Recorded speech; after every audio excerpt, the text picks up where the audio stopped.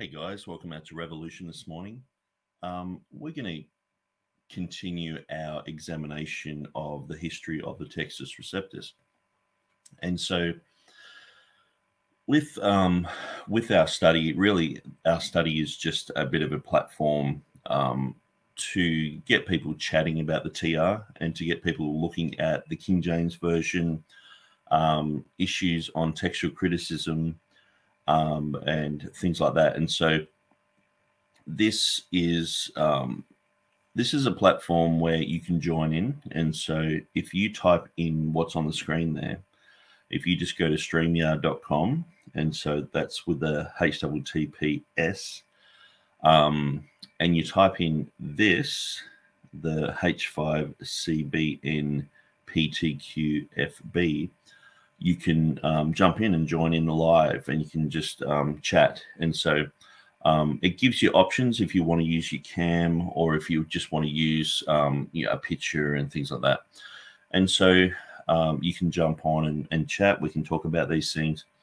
And so, um, yeah, the format is loose. So we're just going through looking at the history of the TR. We've gone through, you know, a few tiny things. We've skipped over a few editions and things like that. But mostly because we we just want to chat about um, textual issues, and um, we we want to have a good look at um, what's happening with the TR. And so one of the big questions that Mark Ward continually brings up is, you know, which TR? And so, but um, there is, I guess, a little bit of, uh, I wouldn't say division.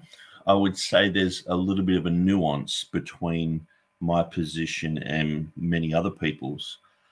Um, and that is, and you can see it on this um, on the screen here, where I've got um, a dartboard, and you've got the critical text here. Um, I think you can see my mouse there. There we go.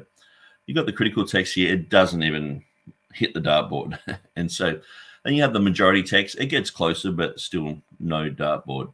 Then you have the Complutensian Polyglot of 1514. It makes the board, but it's still, you know, not in the good range.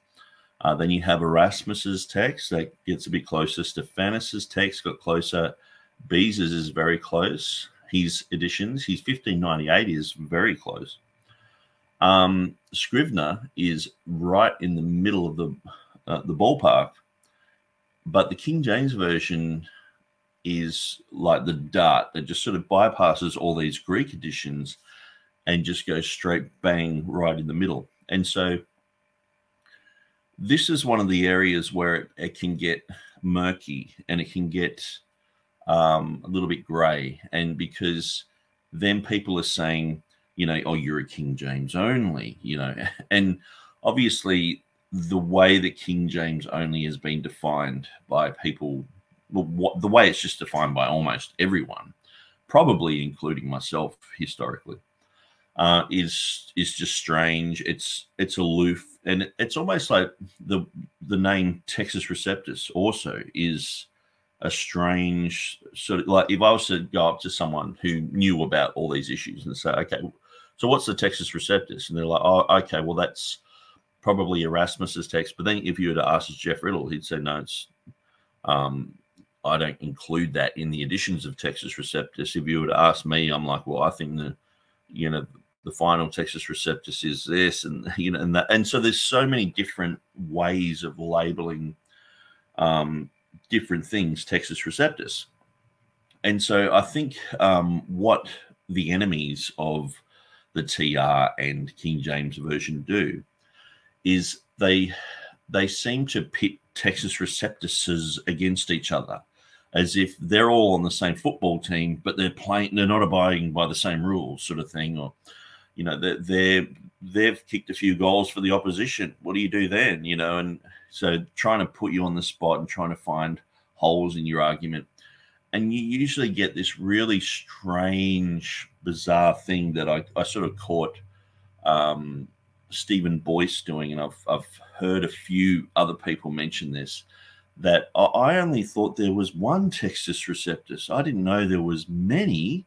Soon as I found out there were many, I thought, "My, where's my faith? I can't trust God, and I nearly lost my faith, and all this sort of stuff." And it's like, Oh, okay. So um, at the beginning of the Textus Receptus, I'll just give you a bit of a, a look at it. So, you know, say someone like Stephen Boyce, he's like, well, we we thought the blue bound TR was it.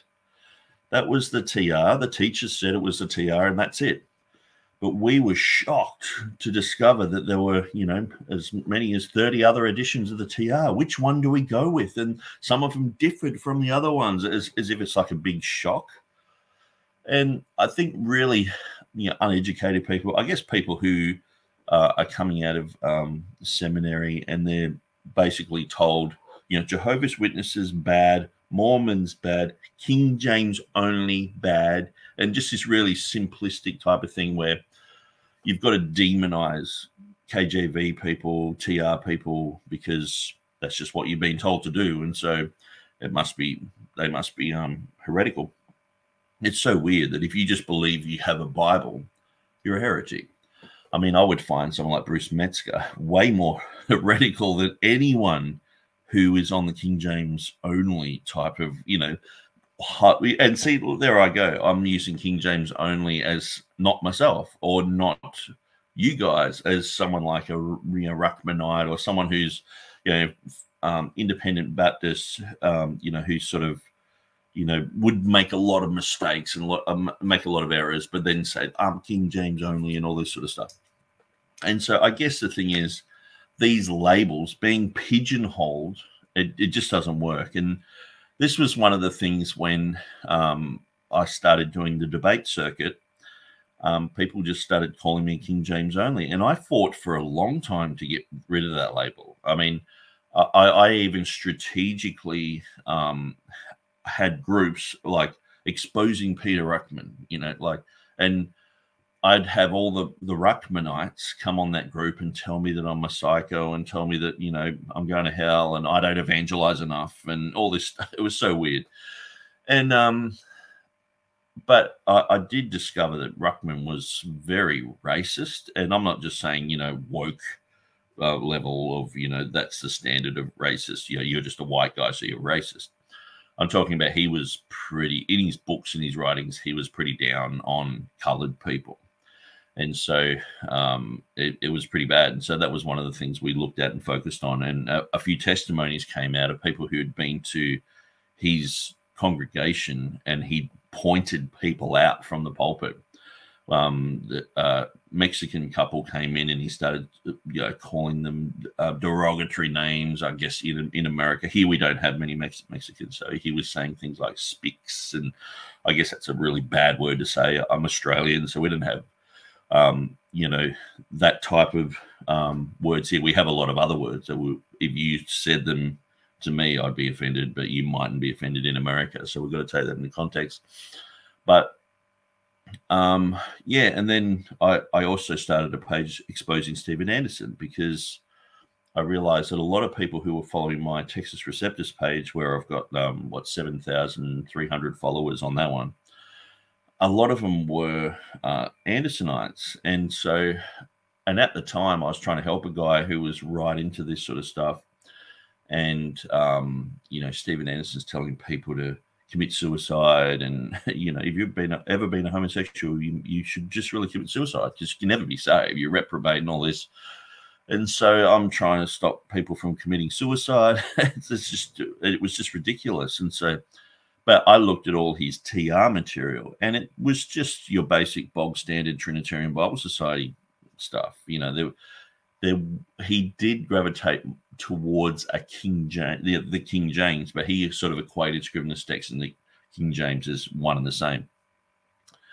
And so, um, but yeah, so I, I tried to avoid that the King James only label, and my website is called textusreceptus.com. And so, um, but you just sort of get thrown into that bag. But I think it was actually a blessing. I got thrown into the the bag, and I'm like, well, I'm defending the King James, and I'm, I'm like, okay, so what do I think about the King James? I'm like, well, I think the King James is is accurate, and then it's like, well, I think the Textus Receptus is accurate, but there are some readings in the printed editions of the Textus Receptus that I don't necessarily agree with. I mean, Scrivener got really close, but there's still a few little bits here and there. Um, I think the King James is what I would go with. I would probably go with those readings. And then I, I read that quote by um, Edward Hills, and I'd read it before, but not in that context where I'll just throw it up on the screen. Uh, where are we? So we're on my Textus Receptus page. okay. And so I'll just read this out. And so, and this is quite amazing too that this is by Edward Hills. And so, Edward Hills is obviously, you know, one of the heroes of um, Reformed, you know, Calvinists, um, and I guess probably people who would sort of balk at this idea that the words of God were found in the in the KJV. You know, so. But anyway, I'll just read this. Um, so this is in David Cloud's book. So David Cloud, he has a book. Um, I've got it there somewhere. It's um, I can't remember. Anyway, so here we have uh, the King James version. So this is uh, quoting Hills, and so what he did, he actually quoted two separate quotes, but he put them in the same because they mean the same thing. He put them in the same um, context, and it, it made a lot of sense to me. So the King James version ought to be regarded not merely as a translation of the Textus Receptus, but also an independent variety of the Textus Receptus. But what do we do in those few places in which the several editions of the Textus Receptus disagree with one another? Which text do we follow? The answer to this question is easy. We are guided by the common faith. Hence, we favor that form of the Textus Receptus upon which more than any other God working providentially, has placed the stamp of his approval, namely the King James Version, or more precisely, the Greek text underlying the King James Version. So I read through that and I went, that is gold. And just the more I've contemplated that, I'm like, yeah, well, why? I think there there is a presupposition against the translators of the King James Version against anything English. And I think this actually is part of the woke movement. I've sort of come to that conclusion. You know how it's like colonialism, white men bad, all this sort of stuff. I think this is part of that because among these academics, they're like, they'll respect Erasmus. They'll say, oh, he's a Roman Catholic, blah, blah, blah. But they'll still go, okay, we respect him as a great scholar. I mean, they'll even learn a Erasmian um, pronunciation in Greek, which I don't think is that type of thing comes from Erasmus. I think that, that more comes from um, an American twang. Um, but then they have, um, you know, so you've got Erasmus, you've got Stephanus, they respect him, then you've got Beza. But then it comes to King James guys. And if any reading is chosen by them, you know, Mark Ward is like, it comes from the King James guys, you know, as if these guys are just the Laurel and Hardys of um, of academia in in in that in in that uh, time frame, and so uh, even the Elzevirs will be respected, and so it's just a strange thing. And um, actually, we've got quite a few quotes coming in, or uh, quite a few comments. I'm just going to open it up to. to that. Okay, here we go. Because I don't want to get behind. Because last time I had um, a few really good guests, like we had um, Jeff Riddle and um, Christian McShaffrey and, and a bunch of guys, and I I sort of got half an hour behind their quotes um, in just answering everything, and and it's sort of by the time I got to where they were at, I, I, I wasn't even in tune with what they were talking about. So Stephen Hayes says this is a great topic. Even though there are very few deviations in the KJV from the Greek text of Beza, I agree that selections made by the KJV translators should be considered the final TR. And it's, I think it's very important to have that position because we're talking about the words of God. And this is where I find people have sort of lost a bit of ground getting in the weeds of this. And so, um, and I guess to like say uh, Robert Truelove, um, Jeff Riddle, um, there's a uh, you know group of guys who are sort of like, okay, well the TR, but there, it, there's ways of saying this. I've found ways of not being labeled KJVO um, by saying, okay, all the readings are in the 1598 edition of Beza. And so, obviously, um, if you follow me on my channel, I'm going through the 190 list uh, of Theodore Beza. I've done about 11 or 12 of those. And so, but, you know, I equate that there's only about 10% that are translatable. And so uh, D.A. Waite, he came up with a 20 number, and Kirk DiVietro also did as well.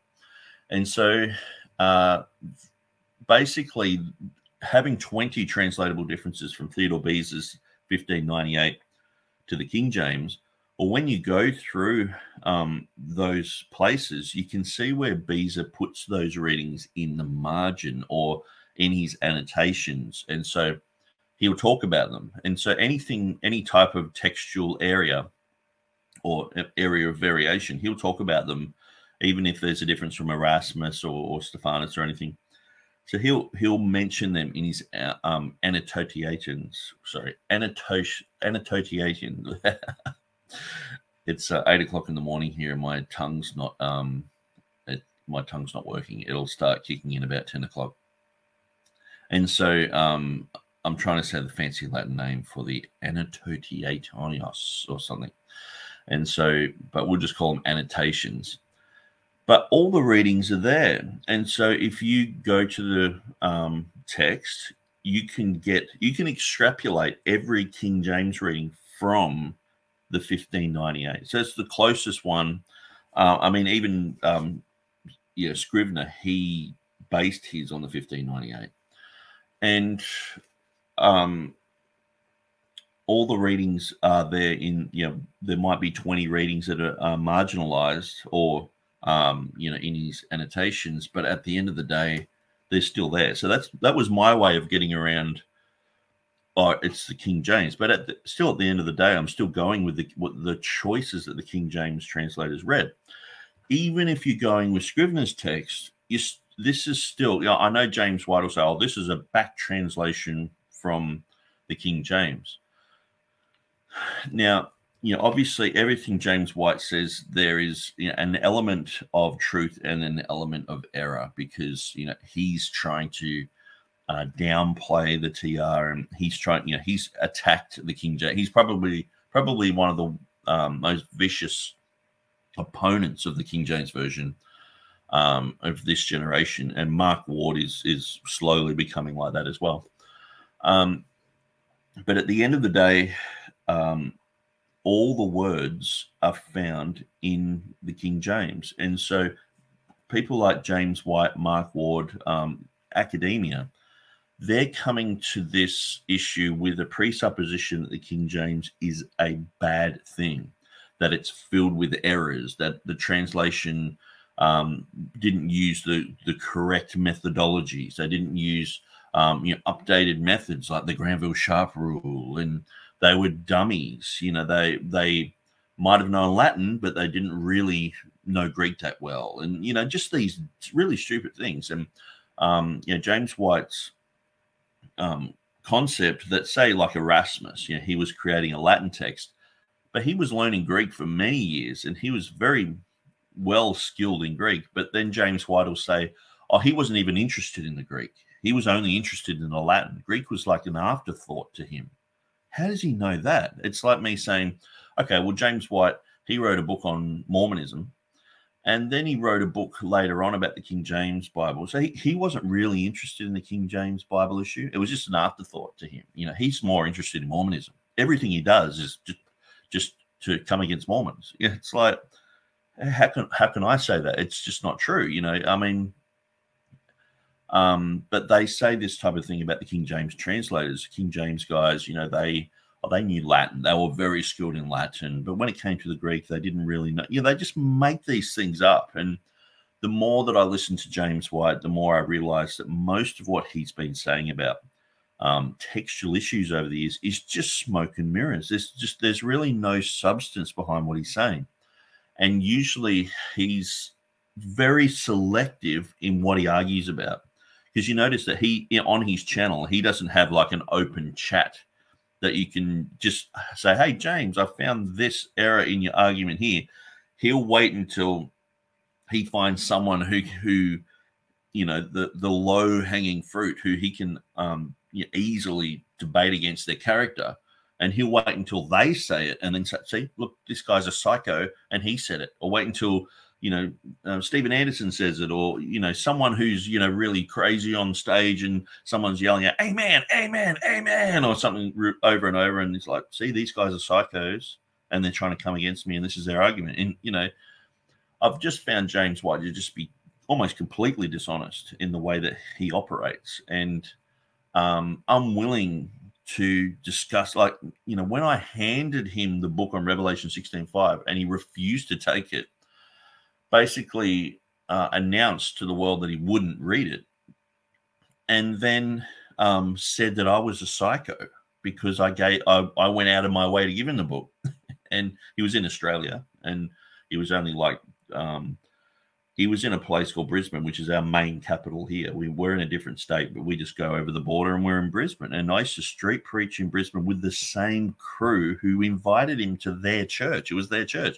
I knew half of the people there, but he proclaimed that I was a psycho and desperate, desperately trying to get his attention and all this stuff. It's like, no, I was in the area and I was actually living in Pakistan at the time, came to Australia. And I was like, oh, James White's going to Brisbane I won't miss that opportunity. I'll go up and I'll give him the Revelation 16.5 book that I've been working on. Gave it, put it in his hand, and he, he refused it and then announced he will never read it.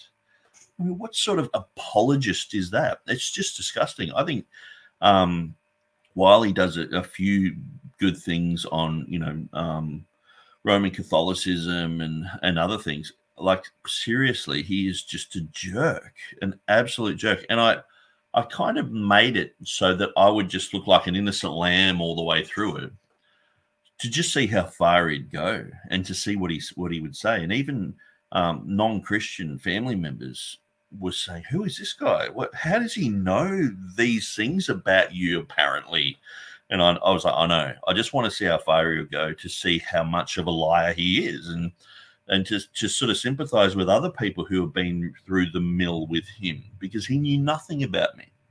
And he he wouldn't he couldn't even remember my name. He just called me the TR guy. But after a while became he became obsessed with me. And then he did a whole program on my tweets. Um, I'd written some stuff on Twitter and then he blocked me so I could couldn't answer them. And then he did a whole program in in a um in like a Bible school setting it was like, dude, you're not interested in in open debate or anything. Just he just wanted to slam me because he knew that my um what I was saying was gaining traction. But you don't see him, you know, lifting up the Revelation 16.5 card much anymore, do you? Because I've fully nailed him, and I still challenge him and say, "I'll, I'll debate you anytime." But um, so let's have a look at another quote. Stephen Hayes uh, says, I find the which TR question by modern text critics a red herring, as the handful of differences among the various TR editions is fundamentally analog- analogous to um, the issues with the critical text.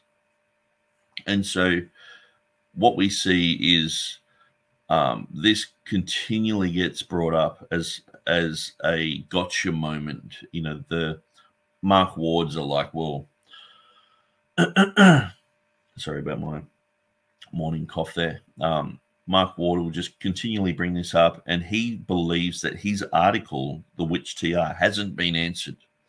So I know uh, Vince Krivda, he did, I think it was like 20 pages or more, maybe 30 pages of um, rebuttal against Mark Ward and all Mark Ward said was, "Oh, he's an artist." So it's like you have to be full time.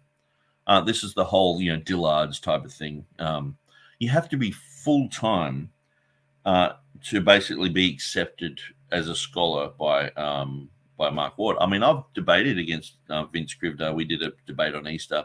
He's a smart guy. He knows his stuff.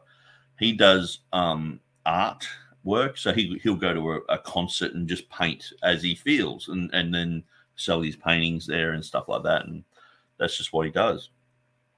but that's cool. That doesn't mean you can't know about TR issues and and have a critique or have something to say. Um, I know a, few people have um, you know say they've sufficiently answered the which TR um, points, but I think the whole this issue is completely answered by um, Edward Hills here, and I think it's great that Edward Hills um, has this quote because one of the things is because of the Westminster Confession of Faith, people tend to, you know, have to have, okay, it's in the Greek text, okay. And so, and I understand that, you know, and I believe that, say, like, you know, the 1598 of Beza, all the writings are there in his edition and in the annotations, the the little variants are there that make up the, the um, King James Version, and they're all in Greek. So I can go that route as well. Um, I can go the route of okay, well, um, you know, Scrivener, he's looked back at all the other TR editions and you know, sort of like a smorgasbord and, and gone through and ma- married them up to King James English words and gone, well, that, that's where they got them from and I can understand that too. And that's where a lot of pe- people um, are, say, like you know, the Dean Burgon Society um, and the Confessional Bibliology guys. And so that's where you would say, like this quote, um, the King James Version ought to be regarded not merely as a translation of the Textus Receptus, but also as an independent variety of the Textus Receptus. So this is David Cloud saying this. So David Cloud, he would be in line with the Dean Burgon Society and so you're looking at D.A. Waite, Kirk DiVietro, um, a whole bunch of other guys. Um, and Theodore Letis, he was actually one of the founding um, guys of the Dean Burgon Society, but he pulled out, or he was rejected because he was actually charismatic at the time, but then he became a Lutheran. So he had, um, he would have known about this type of thing as well. And so this type of thing has been known by guys from the Dean Burgon Society for quite a while, where they would say it's the Greek text underlying the King James. Now, when you go through um, Hill's book, which I've got right here, um, so he's got it, it's on page 220. So I'll just have a quick look. Um, page 220. Yeah, hence the King James Version ought to be regarded not merely as a translation of the Textus Receptus, but also as an independent variety of the Textus Receptus. Now, the next quotation is on page 223. So it has, um, namely, the King James Version, or more precisely, the Greek text underlying the King James Version. But then the next um, sentence is where most people would fall, and it's not on this quote of Cloud. It says this text was published in 1881 by the Cambridge University Press under the editorship of Dr. Scrivener, and there have been eight reprints since um, 1949.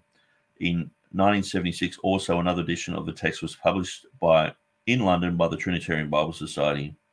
Um, and so his answer to the underlying Greek text is that it is the Scrivener text. Okay. So I'm sort of glad in a way that it that Cloud sort of cut it short there. I guess he had to cut it short somewhere. I don't think that he deliberately cut it short. I, guess it goes on to another issue of Scrivener. Um, but I think he just wanted to show what Hills was saying here. And I agree wholeheartedly with what is said here. That the thing is, like, I'm going through this text and saying, look, Scrivener, and and this is one of the things which, um, say Mark Ward is making a lot about this as well. He's saying, well, Scrivener was, you know, he wanted to delete, you know, one John five seven. He placed doubt on a lot of um, King James readings, TR readings, so. Uh, he's not a friend of the Textus Receptus. He's not a friend of the King James Version, which is sort of a I guess, you know, 70% true. I mean, if you go through um, the writings of Scrivener, you can see, you know, his uh, book on the authorized version his first edition has something like you know 23 places where he wants to omit words or omit verses, you know, and, and change wording and things like that. By his last edition, he has so many that it's like, well, he's like a critical text guy.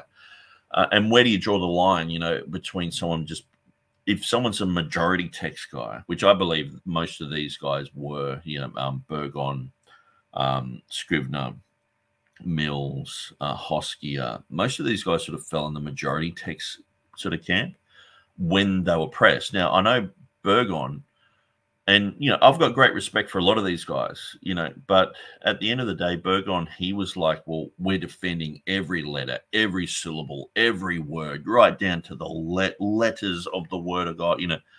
But then he's like, oh, I'm not defending the TR. I'm defending what I call the traditional text. So it's almost like a, a bait and switch. You know, he people were seeing him as a great defender of the Textus Receptus and a great defender of the um, of the King James, which in places he was, but then he would turn around and say, I'm not defending the King James in every point. I'm not defending the. And so it's like, well, where are you standing then? He's creating a different, um, you know, and he's creating a different standard. And so um, we see that in in many people, like we just saw, um, was it Herber, Eberhard? Eberhard. No, that's not his name. Anyway, the um, the one uh, Dwayne Green interviewed recently, and I did a video on him and Jeff Riddle as well. But one of the things was he's come out and said, "I'm a critical text guy," but then he'll override critical text methodology and um, the oldest manuscripts apparently, and he will override them for majority text reading. And so it came out that he was way more a majority text guy than anything. And I think this is the thing. Like, if you were like, he's a he's a critical text guy, he said he is, and then the next minute he's he's a majority text guy. And I think the thing is, a majority text position for me is like um, a safe place where if you don't want criticism, you go that route because you and you still look scholarly. I mean, you look at someone like James Snapp Jr. He you know he has his um, equitable eclecticism methodology, and he he comes across, you know, as, as, very learned and all the rest of it. But I mean, he's many times his arguments are the same as someone like Stephen Avery, but uh, Stephen Steven Avery is just seen as, you know, by ac- academia. They're, they're just like we we just don't have anything to do with you, or you know, even like Jeff Riddle and other guys, they're saying you know very similar things, but having more conclusive, definite uh, answers of where the word of God is, instead of just James James Snapp going, okay, well, I think it is here, and you know, almost everyone in the world might disagree with him there because he's he's got his own authority, his own standard. Um, at least, you know, all of us who are you know watching today, probably there might be a few people who uh, are anti, but we are in agreement where the TR is and what the words are. And so this is the thing with people like Burgon and Scrivener and Miller, and these guys weren't in absolute agreement. And like say um, Dean Burgon, you know, with uh, Matthew chapter ten, where it says, you know, raise the dead. He didn't think raise the dead was a genuine reading. Uh, he went through the first fourteen chapters of Matthew, and I think he found 150 places where he wanted to change the TR. So you're looking at guys who want to create their own text and to me, it's like these guys, yes, they had enough bullets to come against Westcott and Hort in their generation, but in no way are they like the reformers, and uh, in no way are they like you know Stephanus or Beza or or, or the King James translators. They're, they're just not, and so um, I don't have to side with them. This is one of the things where I find you know the Dean Burgon Society. It's named after Dean Burgon who ultimately he has good, very good material, but then ultimately turns around and says that the TR is filled with mistakes. it's like well, 150. Um, what just in the first 14 chapters of Matthew, that's a lot. And so um, they might be, you know, tiny little things here and there, but once you go through the whole entire New Testament, you're looking at thousands of changes. So these are the type of issues that are people want a nice, smooth TR transition. And so they want, you know, the the many of the anecdotes are surrounding the TR about um, Scrivener to be true. You know, Scrivener was a, the defender of the TR, and he remained on Westcott and Hort uh, and Ellicott's translation committee um, or you know, revision committee. He remained on their committee to, um, you know, to be a stick in the mud and sort of, you know, say, look, you guys can can go so far, but that's it, sort of thing. I mean, really, read his material. He's like, you know, one John five seven, straight in the bin. Um, you know, he's placing doubt on the, the, the things that he was fighting for were like the, the last twelve verses of Mark, Pericope Adulterae. But, but read his books of what he wanted to delete. I think I, I didn't realize, like, I guess probably for the last 12, 13 years, I've known Scrivener's material differed from a, a TR KJV perspective. And I guess too, I was reading because there has been this war between the TR people and the King James only people. And the King James only just have to point out and say, look, guys, um, you know, Scrivener's Scrivener wasn't a friend of the TR, and they just point out Burgon said he wasn't a friend of the TR either, and he didn't defend it, and yeah, and so they all they have to do is just point out some basic things, and so the TR people are sort of like, what do we do? And and it, it just seemed like a, a strange hole in the argument of say like the Dean Burgon Society. I've got great respect for someone like um you know D.A. Waite and what and the amount of research that he did into the King James it's brilliant.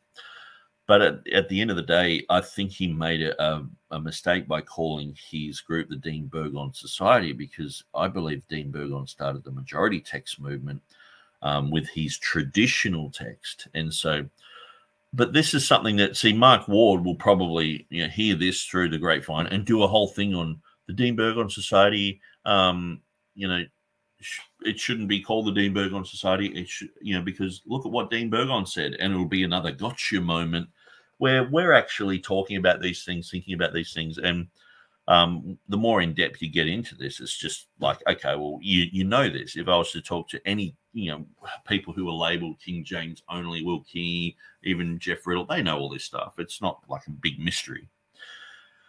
But Mark Ward will make out like it's a big gotcha moment because they're I think the Dean Burgon Society would have been better off being called the Textus Receptus Society or something like that. Then they wouldn't have had this silly issue. Because what you have now is um, Mark Ward turning around and saying, oh, look, Scrivener. Oh, Scrivener was actually against a lot of the Textus Receptus's, um, you know, um, unique readings here and there. And look at look at what he put here, and, what, and he's he's just coming against this this concept that people think Scrivener was a TR guy, and I guess in my mind, people who I was um, associating with online and they knew this for a long time, and I, have been saying this for a, a, long time. And then Mark Ward comes along and you know says it, and it's like uh, it looks like a gotcha moment where it's not really. You know, it's just sort of people.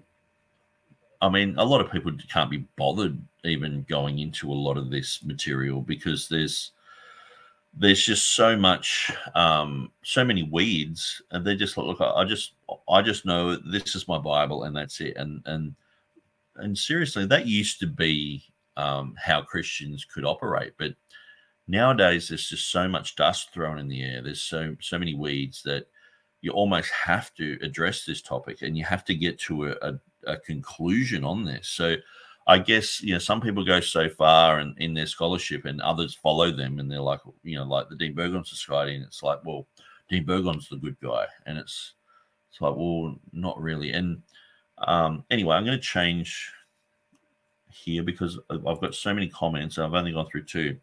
Uh, the King's Table I'm no fan of Ruckman either either. They almost all have racist doctrine. It's disturbing. Yeah uh, that was one of the main things that I found out running the um, Peter Ruckman um, anti Peter Ruckman page was that they were just very anti-black. It was like, and even there were people on there who were Ruckmanites who were black, and they were saying, uh, trying to defend what he was saying. And so I just kept putting, you know, these quotes of what Ruckman was saying, and then after a while, this guy just stopped being in our group. And it wasn't because you know he got offended with what we're saying. It was like he realized he didn't have an argument. It was he he sort of backed in the corner and went, "Yeah, that's really bad." Because I mean, anyone who reads it, it's like it's like early Klan literature. It's like um, it's just crazy. So we have Stephen Hayes says the whole Ruckman issue is an ad hominem. Uh, we all abhor his race racism but don't use that as an excuse not to interact with his arguments on textual issues. He has some very important arguments, and that's one of the things too. Is if you were to get the the worst, or who are considered the worst, you know the you know James White would say Gail Riplinger with her acrostic algebra, you know, Sam Gipp with his I don't know what he's done wrong, but I guess he's a Ruckmanite, and so uh, or Peter Ruckman um, you know, um, even uh, Steven Anderson, etc. The thing is, you still can get understanding from these people on on other things, and don't we all do that? Don't we all, you know, have? I mean, who who do you know who's just orthodox on everything? you know what I mean? On absolutely every little um, thing that you believe. I mean, there's very few. And I, I, usually find that people who are like, "Yes, I follow," you know, just I just follow John MacArthur or I follow this other guy, and I'm usually just like, "Well, I'm sorry, I think too much for myself to, to just jump into someone else's theological realm. I, I figure these things out, and I read the Bible, and I go, "No, sorry, John MacArthur. I mean, the the blood and death are, are, are a different thing. I mean, you know." and things like that. And so um, but yeah, the whole Ruckman thing. But if you look at all these guys who were the low hanging fruit of King James only and TR only, they would. Um, I mean, when you get someone like Bart Ehrman, he's still in the academy. When you get someone like Bruce Metzger, Carlo Martini, George Vance Smith, Wes Hort, these guys were just. I mean, sure, you can get half of these people are trained to go when they get into the um, academy that's like okay we have to do a thing on on the trinity and we have to do a thing on the blood of christ and we have to prove that jesus is god. And they sort of tick the boxes and go see i'm orthodox. Okay let's just continue and ripping the bible to shreds. And i mean how many of these guys like would you ever think that you could go soul winning with bruce metzger you know what I mean? It's like half of these guys, even even when I listen to Bart Ehrman and he talks about how he was born again and he was an evangelical and he used to do this and do that. And, and I, I used to listen, I listen carefully to what he would say in each one of his books. I'd go through it and go, well, I'm just not sure uh, if you know being on a campus among, you know, among all all these other people, and I mean, was he was he ever you know involved with you know some sort of street ministry or you know one-on-one witnessing and all this sort of stuff? Because it's like like i know someone like james white was.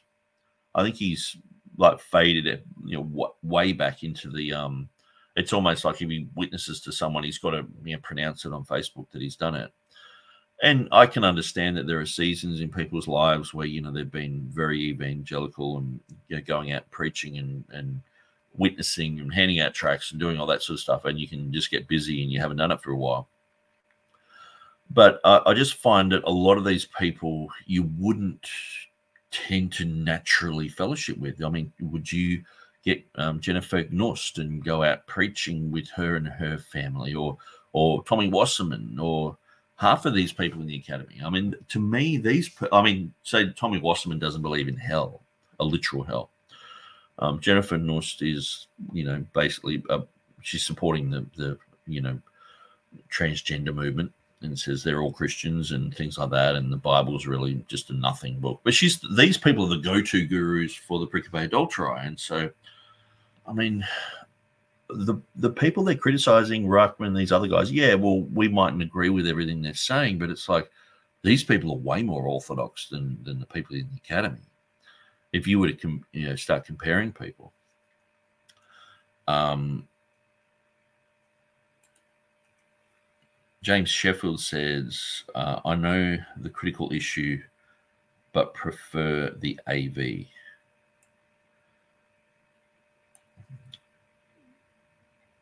The critical issue, I guess that's the uh, the critical text. Dwayne Green uh, says, "Heyo, um, how would you interact with those who say a translation can't be perfect?" Um, very good question. That's a great question. Now, um, some friends of mine, um, they were translating for the EU. So they were translating Luxembourgish. And um, so I was at their house and um, got talking a lot about, you know, their, their translation methodology because, you know, I'm, I'm very interested in translation. And so I was saying, so how do you go through um, this material because they had to translate everything into Luxembourgish. So I'm pretty sure the EU everything had to be in English, but because it was in Germany, it had to be in German as well. But then they had to put it into each um, language, each other language. So the main two languages were like you know uh, German and English, and then it was translated into other languages. So it was quite in depth the, the way they did it. And you're talking about you know financial treaties, border treaties, um, you know things to do with war, things to do with weapons, things to do with you know, climate change, all sorts of you know stuff. And so these guys translating everything to Luxembourgish, what they said was um, that they would um, firstly get the documents uh, in the first languages, so that would be the, in the English and probably the German, and then they would just throw it straight into Google Translate. Now I know Google Translate can be pretty bad.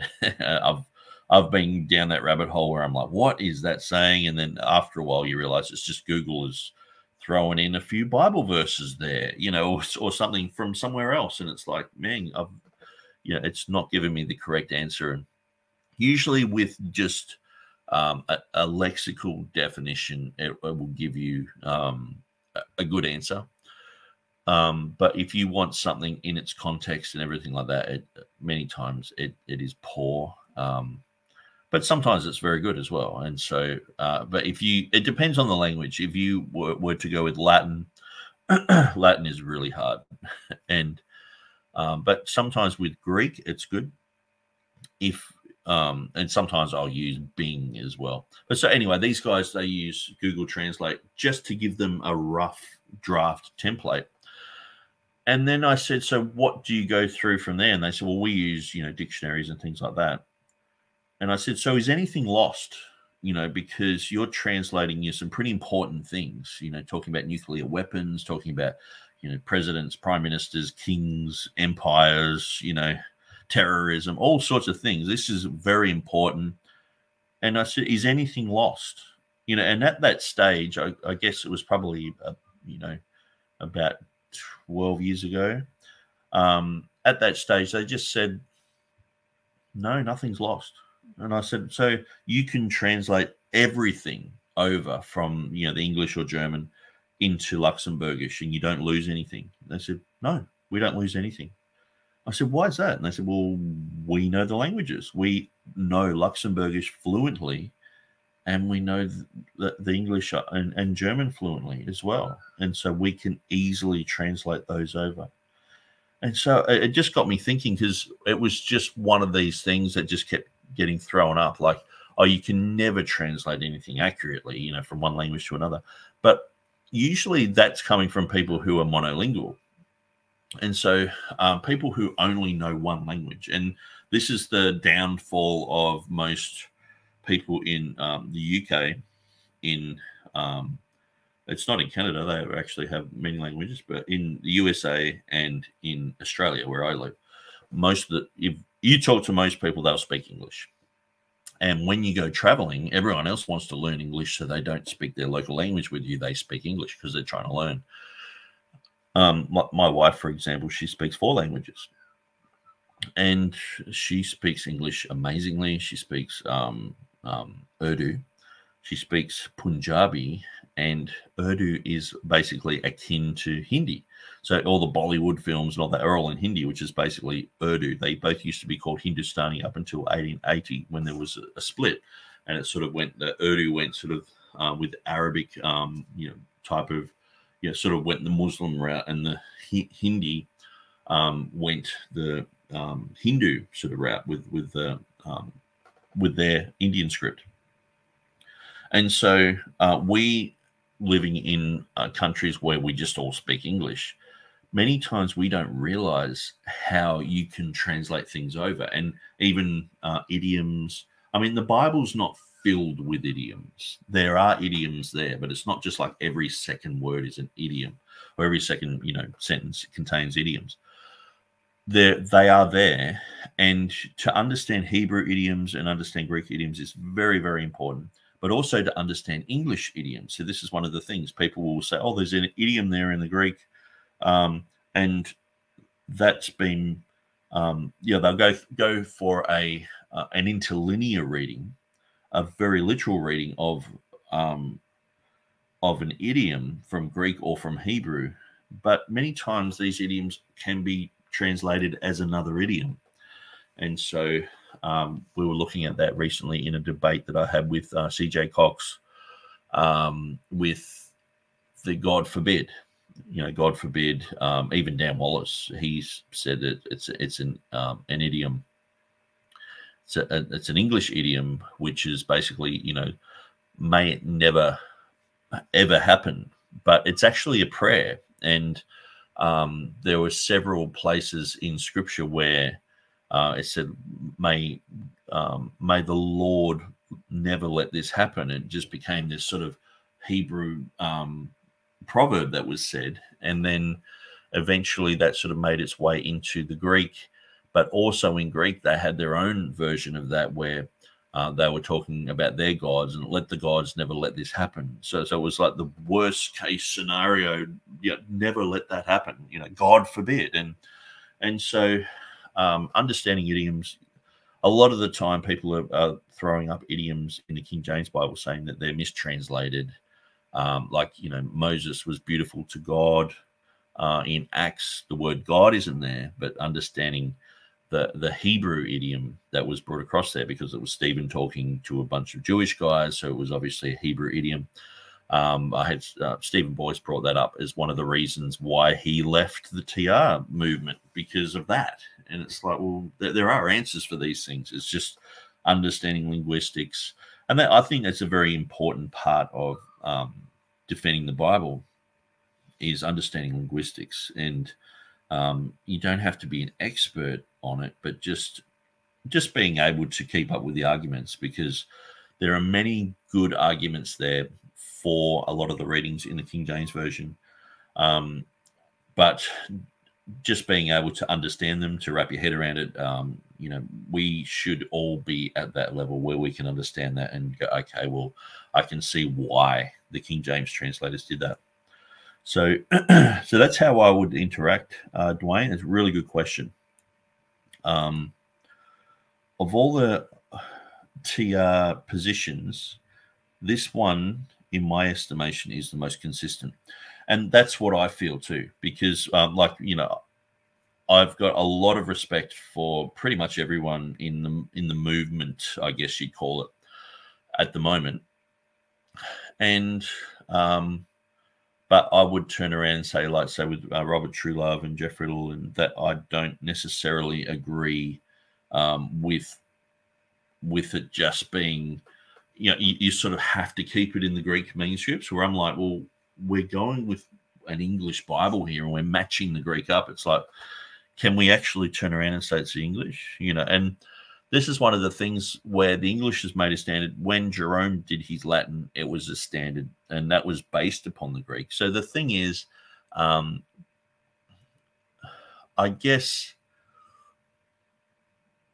yeah, there is a view where you're sort of, sort of stepping out of the Westminster Confession if you're saying it's uh, it's in the English. But the thing is, critical text guys do this with the LXX, where they'll have they'll say, "Oh, the LXX says this," and so we're going with that reading. And it's like, "Well, hang on. If I said, "Oh, the King James says this," so we're going with we're going to override the Greek," people would say, "Okay, kooky, Ruckmanite, um, get the banjo out and let's let's have a sing along."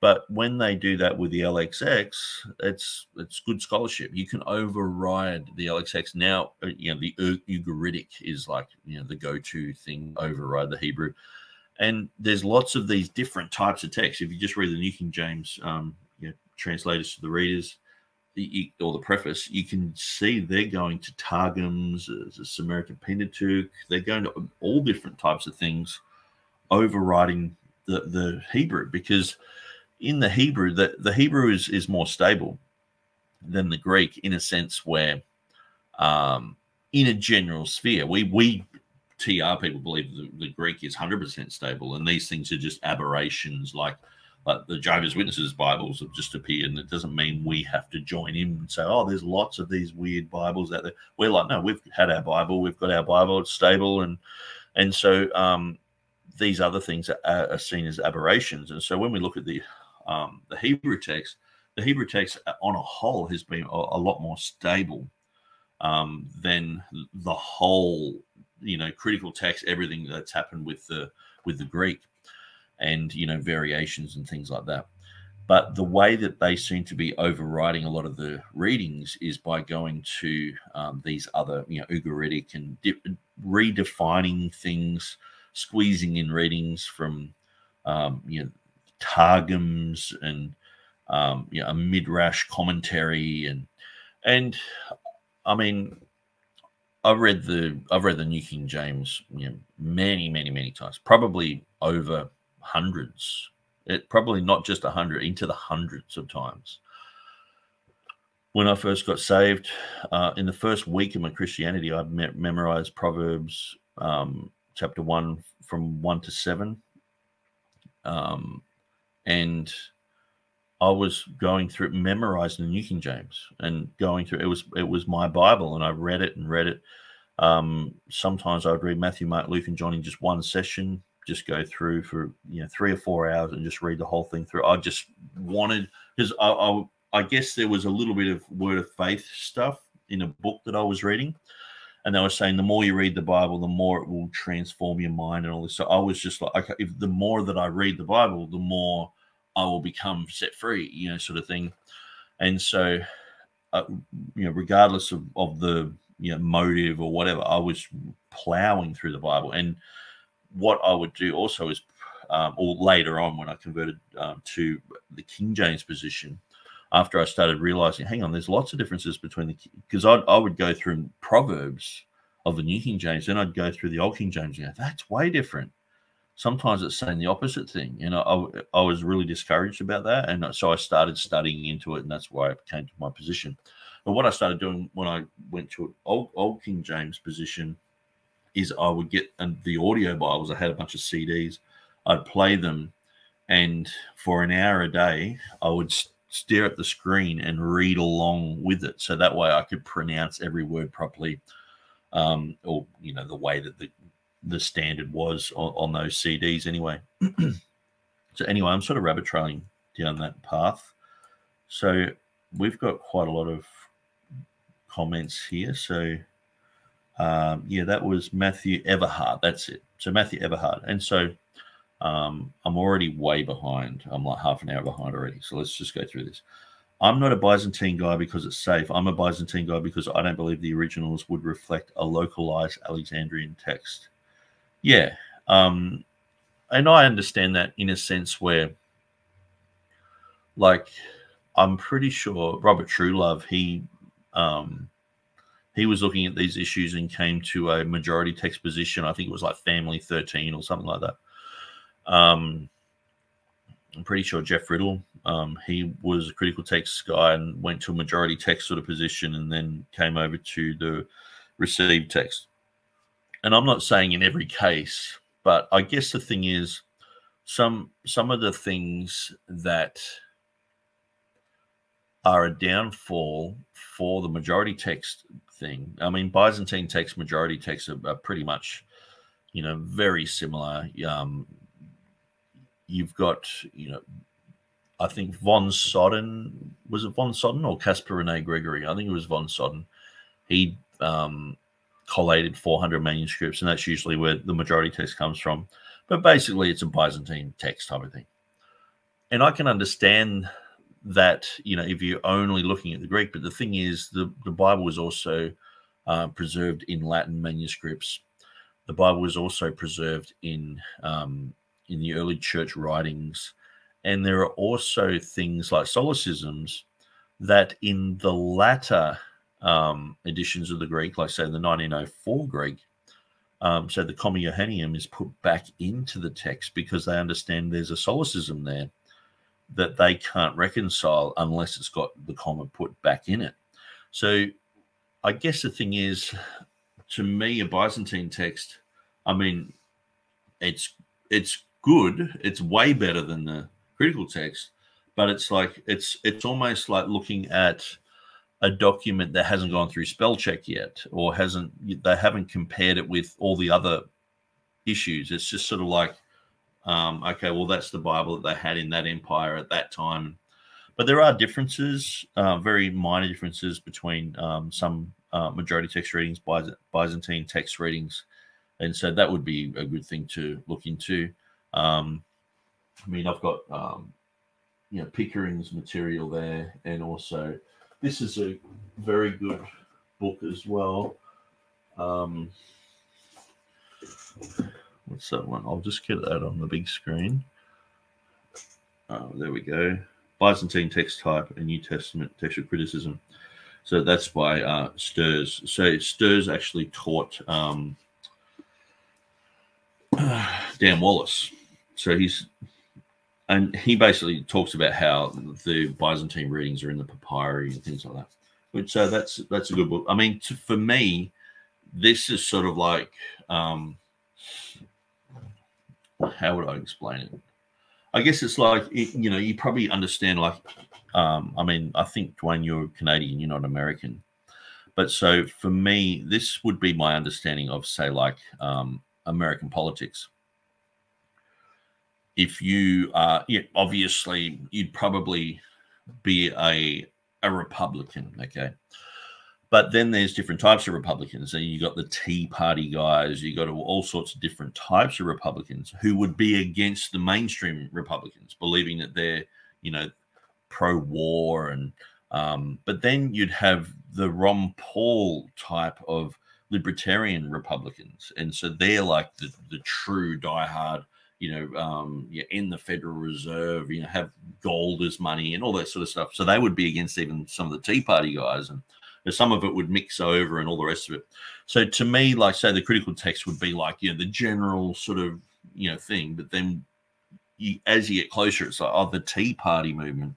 But the thing is, if you really wanted to get the real thing, you would you know become like a Ron Paul libertarian sort of thing. That that's how I you know followed a little bit of American politics over the years, and that's how um, that's where you would sort of end up. And so to me, it's sort of like the, the Byzantine text and the majority text is sort of like a middle movement, which is better than the mainstream, but it's like uh, it still doesn't go all the way, and it's actually um, pr- probably only really made um, famous and made um, what it is because of the Textus Receptus.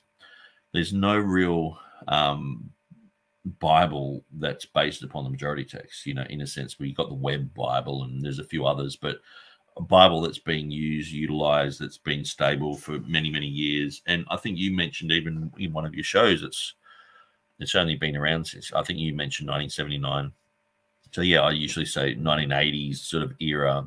It's like let's create this new text called the majority text, and you know the Hodges and Farstad, the guys who were behind the New King James version, they um, worked on that and um, they've created their text, and they weren't TR people, um, and many of the people who worked on the New King James were not T. Well, none of them were TR people, and so I guess in a way, it's sort of like, um, you know, it's just creating a third. It's like say the Tyndale House text. It's just another text out there that's sort of like, well, why? You know what I mean? Like, what? Why?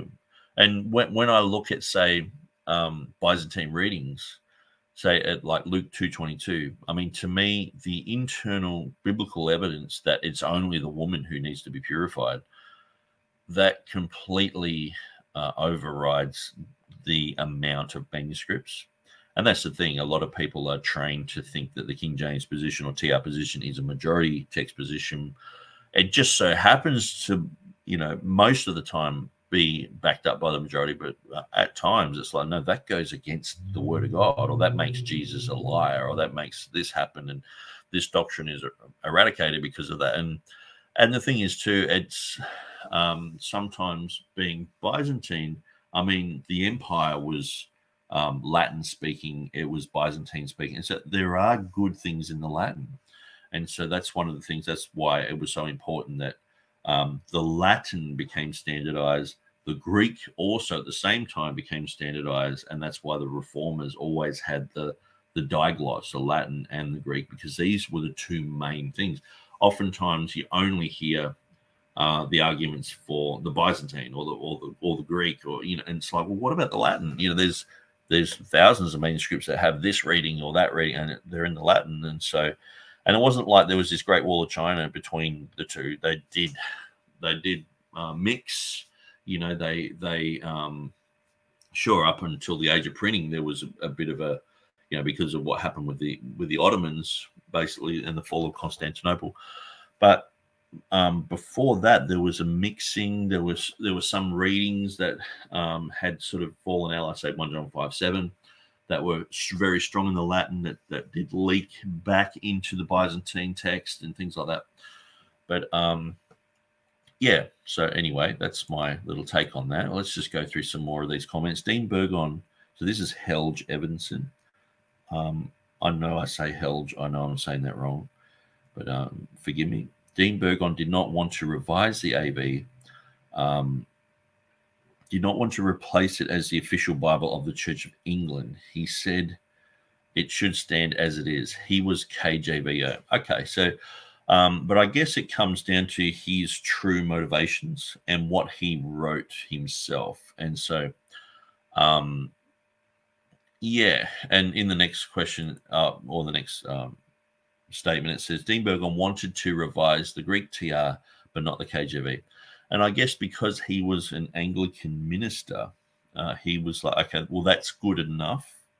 But in his um, in his writings, basically saying the underlying um, text of the KJV is corrupted. The TR is corrupted underneath that, and so um, that's where my alarm bells go off a bit because, um, you know, saying saying that you want the the King James version to be the standard um, simply because it's like a stabilizer of religion or society or you know, people in politics have used it or what like say if people turn around and said okay well the luther bible has been used for this many years it's stabilized our country it's stabilized our language and all that and you might have a million really good arguments for it.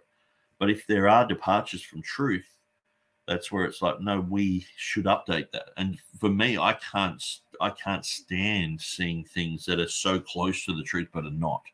You know where they even when there's five that's why i mean i know people yeah i, I go through know scrivener's text and i'm like well no that's that's that shouldn't have been changed. Or no Beza didn't really have that reading you've changed it for no reason and i'm pointing out those type of things in that which i guess that's sort of coming against the standard you know, Trinitarian Bible Society understanding of the TR, um, which, you know, say even that sort of puts me at loggerheads with people like Steven Anderson. He said, you know, people who say that there's mistakes in this are just nitpicking and all that. And it's like, well, I'm just interested in interested in truth and every word. And so I'm actually looking and hunting for those little changes and the tiny little bits and pieces so that we can you know work those things through. And um and so yeah i mean it, it's it's a lot easier just to sort of hold you know i could have just gone hold that up and say yeah that's it. And a lot of the time i will concede and say well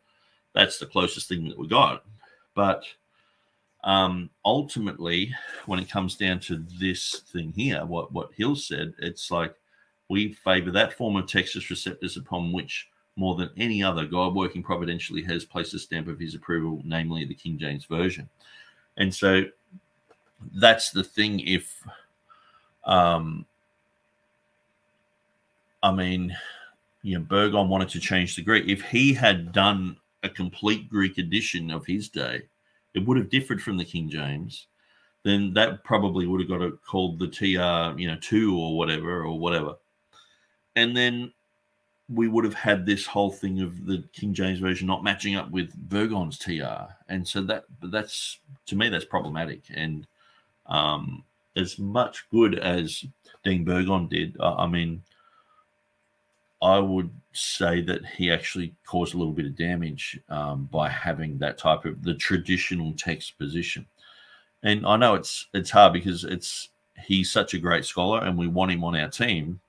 But at the end of the day, um, you know, even Moses, he he got mad and hit the rock and wasn't allowed into the promised land. And I, I see some of these guys as they come really close, but there's there's there's no ribbon at the end. It's like, well, sorry, Dean John William Burgon, you did really good, but um, the traditional text just doesn't match up with the the standard of the Textus Receptus and the King James version.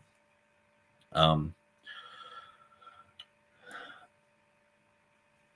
okay, and so, but really good. That's a really good discussion um, with what you said about how he didn't want to change the Bible, and he was KJVO, and so um, one of the interesting things is here in Australia, we because you know we we were um, founded by um, Great Britain, we're still actually under Great Britain. We're a Commonwealth, a bit like Canada. We have a Queen. Um, we are a representative government underneath a monarchy, and so we are only a representative. We do have a lot of autonomous power, but in 1975, when the CIA didn't like our prime minister, um, the Queen got involved and, and basically uh, sacked our Prime Minister through uh, through a loophole, which they've changed now and they couldn't do. But now it doesn't really matter. The CIA just they just dictate who's coming in and out anyway through Rupert Murdoch. But and so we're basically we, we don't have really any autonomous power. Um, we, we just do what America tells us to do uh, in Australia. We're, we're not a free country, basically if America said we're going to go to war with China tomorrow, we would just go, okay, yeah. We wouldn't even ask why. We just go, okay, That because we just understand that we're like the 51st state of America. We're just overseas and we're sort of like California, we're a bit lefty, and we just do whatever we're told.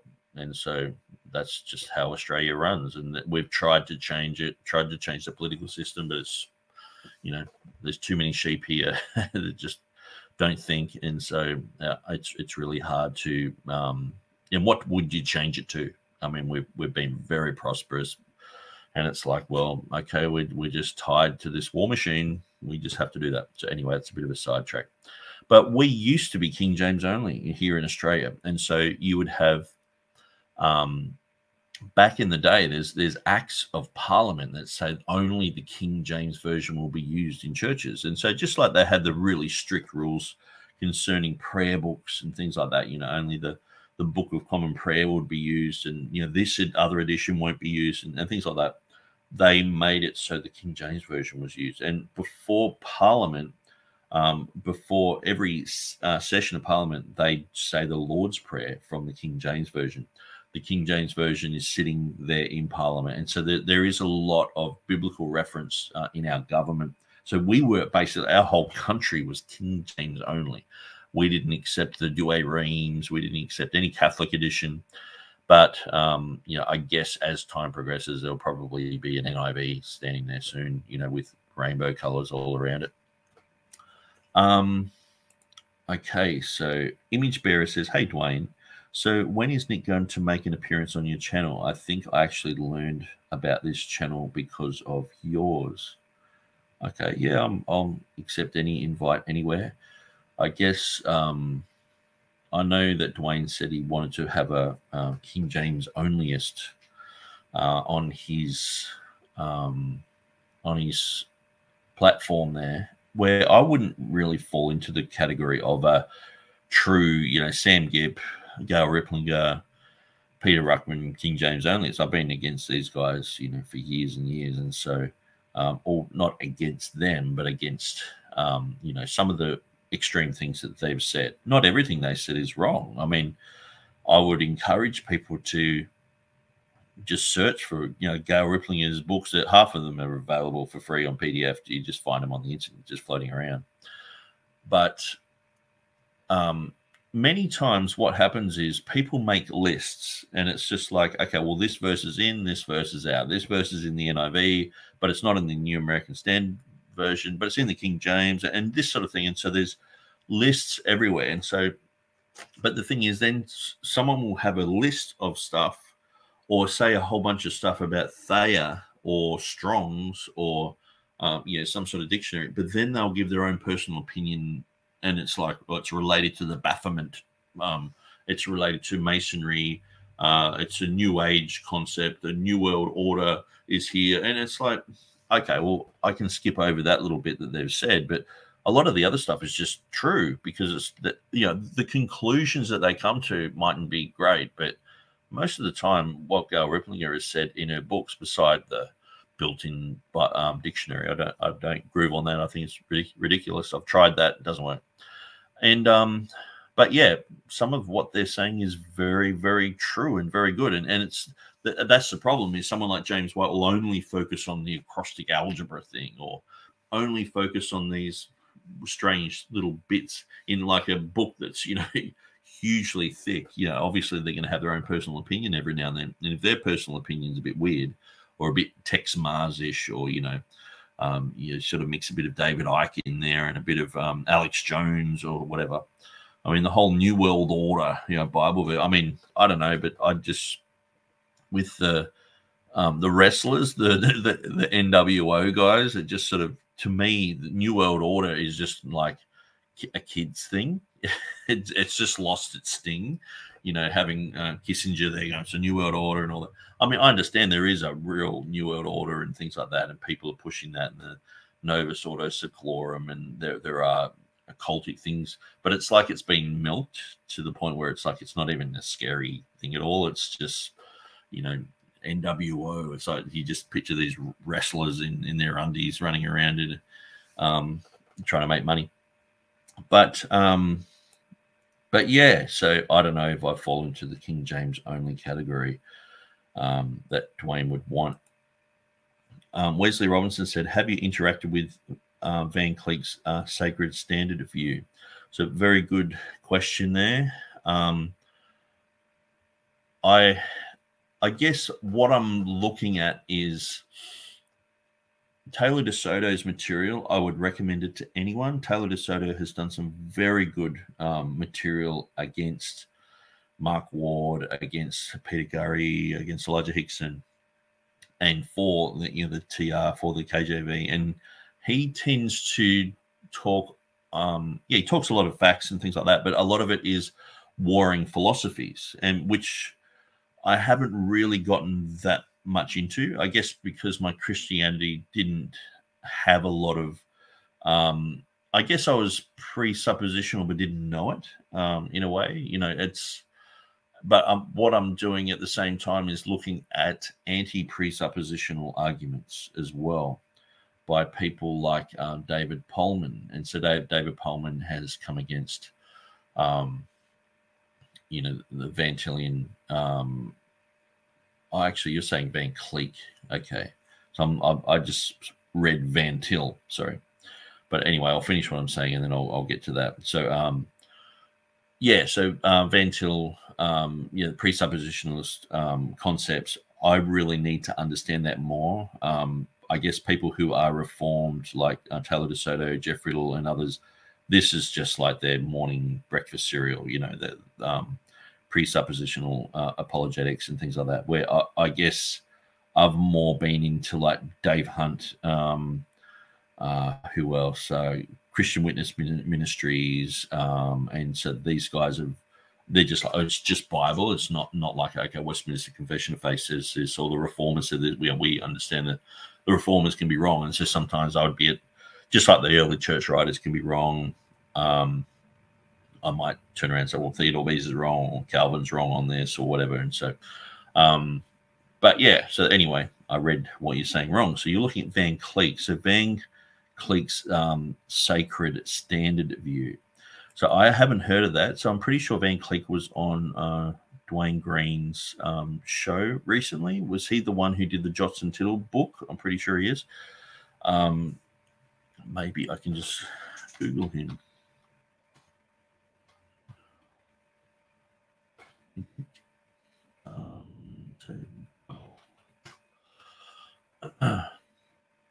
okay, yeah, so I'm pretty sure this is what Van Kleeck. I haven't read Van Kleeck's material. Um, okay, so it's on Kindle Unlimited. It's free, it looks like. Wow, that's pretty cool. Zero. Oh no, you have to be part of Kindle Unlimited. Oh yes. Oh yeah. So you pay five dollars. Okay. But that's fine. But yeah, I really should look at that and get into that. And um, I really enjoyed what Peter Van Kleeck said. There were there were a few things there that it would be great to have a, an entire show here on um, on Psalm 12 and also the Jots and Tittles verse. Um, and maybe all those verses that are used for preservation and how they've been used historically and also how they're used in other languages. Um, that would be very important. But yeah, I haven't really um, looked that much into this. And so, uh, and obviously here we're looking at Westminster Confession of Faith, Section 8. And so um, this, like I said, is just sort of bread and butter for guys like Jeff Riddle and uh, Christian McShaffrey. And uh, but for myself, um, lately I've been listening to lots of Bart Ehrman material, de- his debates he's done. I guess I just want to get up to that standard where, um, if anyone asks me any of his, um, you know, questions or anyone points to his argumentation, I'm able to have an answer for that. But um, okay, so Dwayne Green says image bearer. I don't necessarily agree with Nick, but I think his position is one of the more consistent TR positions. And that's why I've taken this position because, I mean, I couldn't, um, with all honesty, you know, someone uh, who was a King James onlyist and saying, oh, the King James overrides the Greek and all this. I, I just thought that was sort of weird. But then in the end, I'm like, well, isn't that's exactly even what Westcott and Hort thought? The the the committee under Ellicott they were commissioned they commissioned Scrivener to create this by you know getting Beza's text, which is most of it, and but then in those finer points, they're to go to the King James. So they even understood where the true TR was. It was underlying the King James version, but it just never got printed. So usually, what I say um, when people are asking me, you know, where I stand with this, I usually just say, look, the King James translators, they used Theodore Beza's 1598 text. Um, his ceiling became their platform, and they they basically, you know, took their hat off to Theodore Beza and said, "We appreciate all the work that you've done. We're not even going to change hardly anything except for 20 tiny little places because you've done so well." And so, it's not like they just went out and, and changed a whole bunch of stuff. They just they changed 20 places. And the good thing was, Theodore Beza is 1598. He has his Greek. Then next to it, he has his own Latin translation, including italics, including you know um, punctuation, you know, uh, grammatical uh, issues in Latin and things like that, which could be translated over into English. So these guys could see how he would had translated things as well. But they did amend it in about 20 translatable places. Um, but they never printed their edition of the Greek. So, but they would have had to have had a Greek text made. So, because how else would um, the way that they actually did their translation? How else would the, how else would the other translators know that they've amended the text of Beza? Um, or else they would just would have all said that's an error there, you know. So, um, what uh, what happened and the way that the King James is translated. Just say there's 60 translators. That that's been a number that's been floating around for a few years, so it makes the math quite easy because there were six committees. So say 10 in each committee. So um, say the committee that was to do um, the four Gospels and Revelation, they were to all all 10 of them do a translation by themselves. So they would have looked at uh, Geneva. They would have looked at whatever they wanted to look at, but they would have.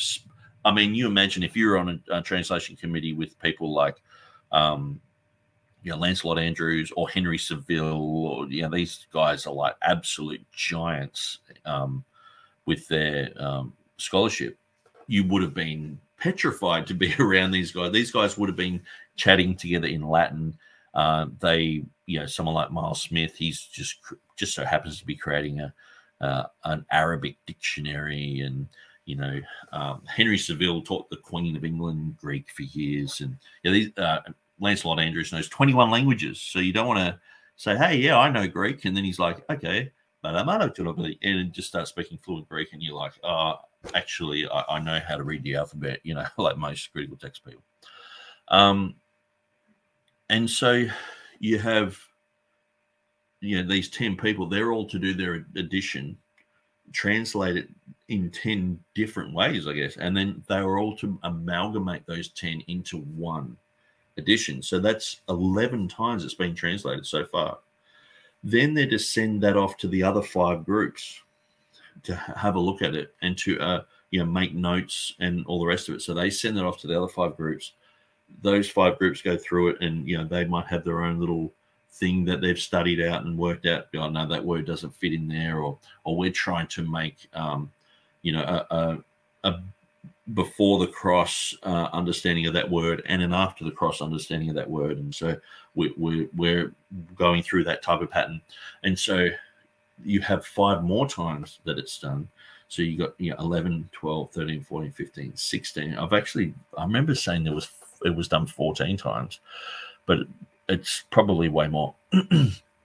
and so then you have, um, uh, well, that committee then has to look at all that argumentation and you know if there's any good argumentation then they have to put that into their text then there's um, revision committees and then there's a final committee who go over it at the end and so i mean all during that time how would have those other five groups known that they had followed this other greek text and so that's where i think someone like john Bois was probably instrumental in letting them know, hey, we're going with the text of Beza except for this. And he probably had, you know, 20 things written down on a page. And the thing was, some of these translators were with Theodore Beza. They, they had um, gone over to France. They'd been friends with him. They'd done debates with him against Roman Catholics. And, you know, it wasn't like Theodore Beza was so far detached from them. He was in their generation, and so, some of the people knew him very well. And so um, they like even um, Tremellius, who was um, Tremellius, Janius, and Theodore Beza did a Latin translation, and that was in about um, 1580, I think it was, and that became the standard Latin translation for about 300 years. But Tremellius, he was in England for a while, and he stayed with um, the main translator for the Bishop's Bible, so he would have had influence in the Bishop's Bible as well. He stayed there for about eight months, I think, in his house. And so it's quite interesting when you start looking at different biographies, you see names come up and you see this uh, cross pollinating of different people. And especially Theodore Beza, his name comes up a lot when you're doing um, a search into the King James translators. So any one of those King James translators could have done their own Greek edition and it would have been accepted as a definitive, like just like Theodore Beza's one. It's like, okay, that's good enough. I mean, who are the Elzevirs? We don't even hardly know much about them, but their one is like, yep, that's a TR edition. We'll cross that off. You know, uh, I'm, I'm, sure if Lancelot Andrewes did an edition, we would go, yes, that, that was a good one. But they never printed that. They just printed their final edition in English.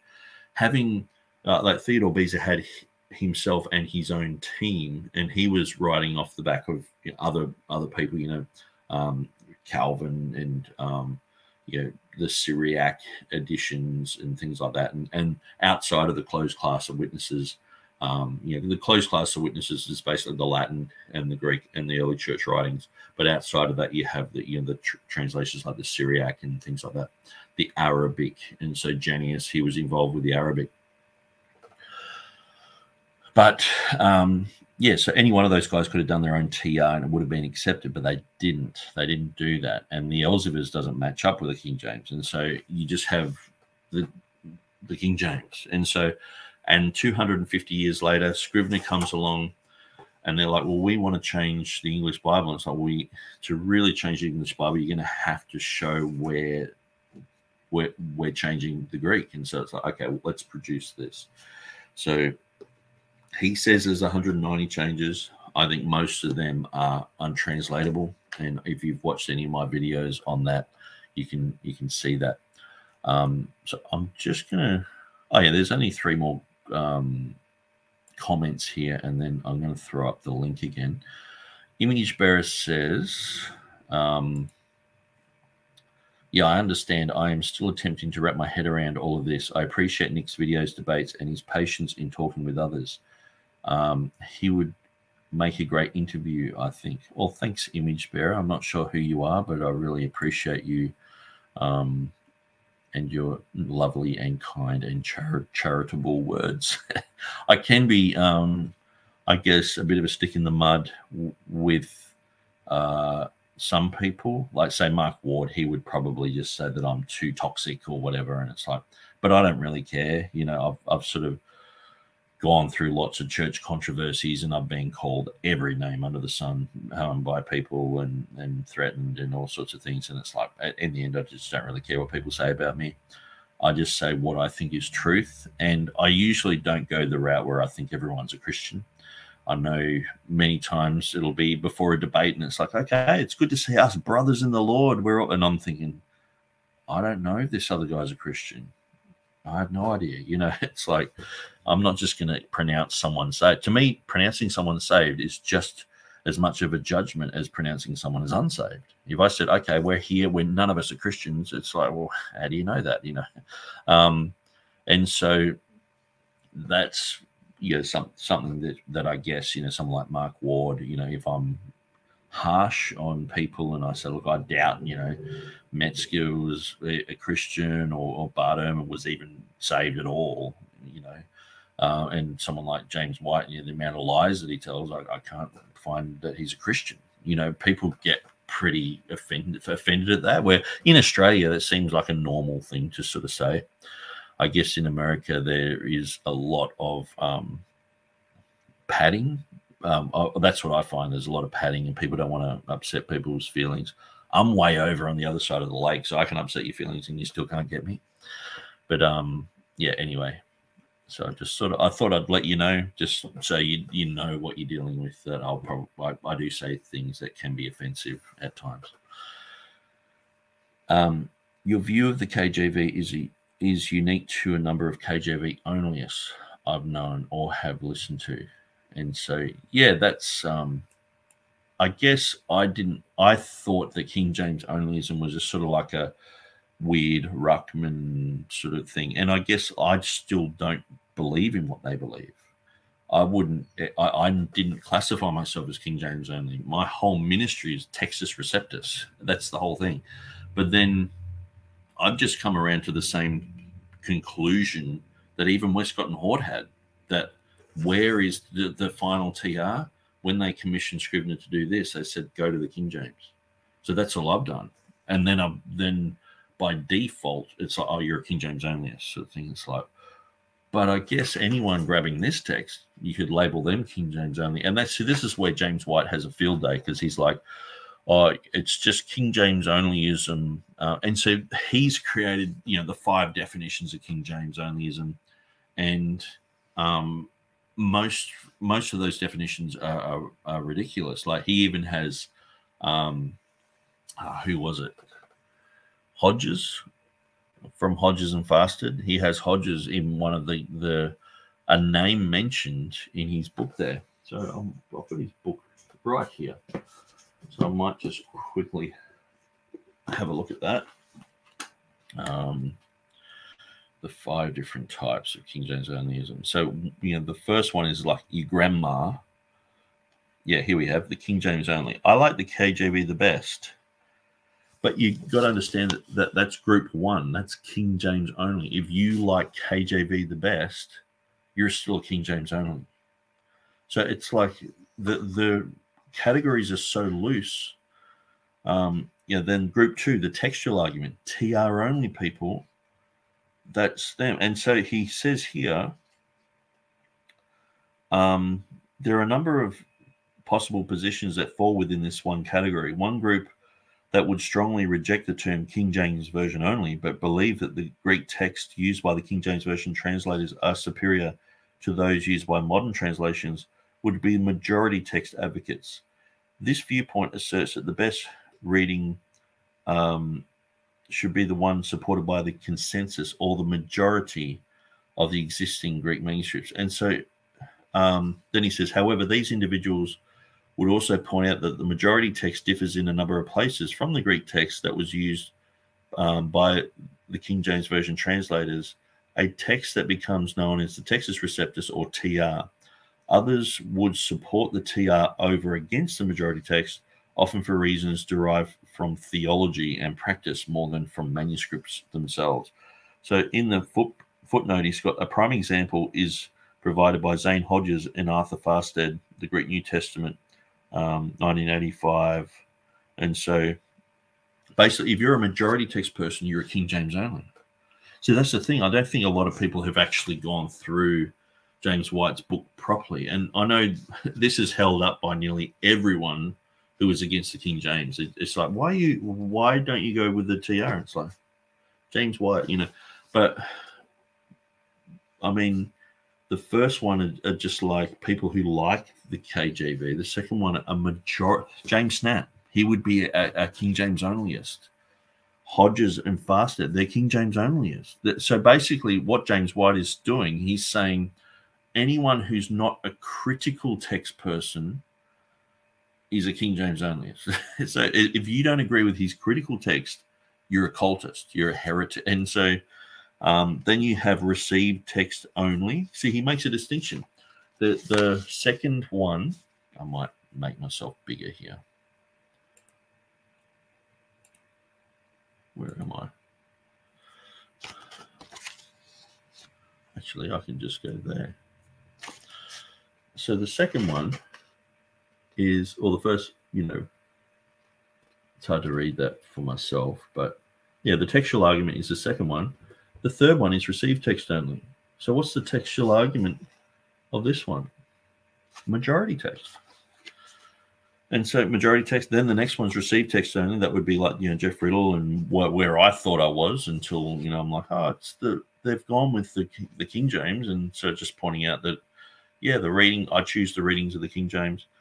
And then you've got, you know, he goes into the inspired uh, King James group and then the last one, the King James version, is a new revelation, which, yeah, I don't even know. I don't think I've ever met anyone who believes that. Um, and so, and I've, I've often heard, like, even with um, Timothy Berg's, you know, um, frequent, um, how would you say it? Frequent arguments uh, made or frequent misconceptions made about the King James version Timothy Berg is sort of like, um, you know, these these are some of the arguments that are against the King James, and it's like I'm looking through them, going, I've never heard that. It's not a frequent argument. It's like it's like when people say, "Oh, people think the King James floated down on a cloud." Who? Who? It's just you know, it's just no one. And so, um, okay, so there are two Van Kleecks and two books. Um, one is exegetical grounding, and the other is a philosophical grounding. Okay, so that's good to know. Um, and yeah, that would be good to go through those. And these would be books um, more leaning towards the confessional bibliology um, type of guys. Doki Doki Bible Club. Hi, Nick. I really enjoyed your debate at um, Standing for Truth. So, if you don't know, I just had a debate on, if you type in Nick Sayers, um, CJ Cox. You'll see a debate that I recently did with CJ Cox. Um, in all honesty, I thought it was going to be a little bit harder than it was. I mean, uh, the main topic that I've been focusing on for like 20 years is Easter. And um, I wrote an article, um, Why We Should Not Pass Over Easter, in 2005. Um, that was put in answers in uh, Genesis. They, they ran with uh, some of that material. um, back in the day, um, contending earnestly for the faith. They put it in their magazine, and it became quite popular. I made a few videos on it, and um, I guess I'm sort of like halfway through writing a book on it, which is you know it's just this perpetual thing in the background that just keeps growing. But and so CJ Cox wanted to talk about Easter. I'm just like it, it's like talking about um, you know the Westminster Confession of Faith with Jeff Riddle. I mean, this is something that I know a lot about the the Easter issue and why it's in the King James. And so I was I was a bit shocked that CJ sort of went there. And I guess when I do a debate, I'm I'm doing my homework. Like so, I'll go to debate another guy. Um, actually, it might be. I'll have a look at my email and I'll put it up there. Uh, there's another guy who uh, I'm debating pretty soon. Actually, Gmail.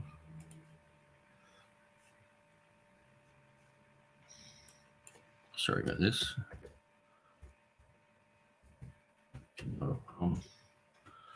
So there's another guy I'm debating pretty soon, and so what I'm doing is going through all of his material and just I'll you know listen to or watch you know most of his um, uh, debates or interviews and all the rest of it. And like say with Rob Rowe, I probably went through about 20 of his um, long-winded uh, videos. Some of them go for 11 hours, and I'm just there like chugging through all this stuff. But just so I can get those little snippets of information that are like, oh, he believes this and he thinks that, and you know, so that way I'm not um, shocked when the, when the debate comes. But I've sort of found that CJ didn't really know that much about me. Um, but maybe there's a lot about me now that um, it can be hard to get information because if I guess if they look on my channel, um, yeah, if they were to look on my channel, they would probably see a whole bunch of stuff. And so this is a guy called um, uh, Eddie Kroom. He's got brutefacts.com. And so I'm going to be debating him. Uh, I think it's in about three weeks' time. So anyway, I'll just sort of show you that. So um, that's who I'm going to be debating. I'll get my page back up here. Oops. And I'll jump back into the stream. And I'll put up StreamYard. So that's if you want to join us, um, just type that in in the StreamYard. You can come up as another bobbing head here, or uh, sometimes you can just pick a picture, um, or or just a nothing.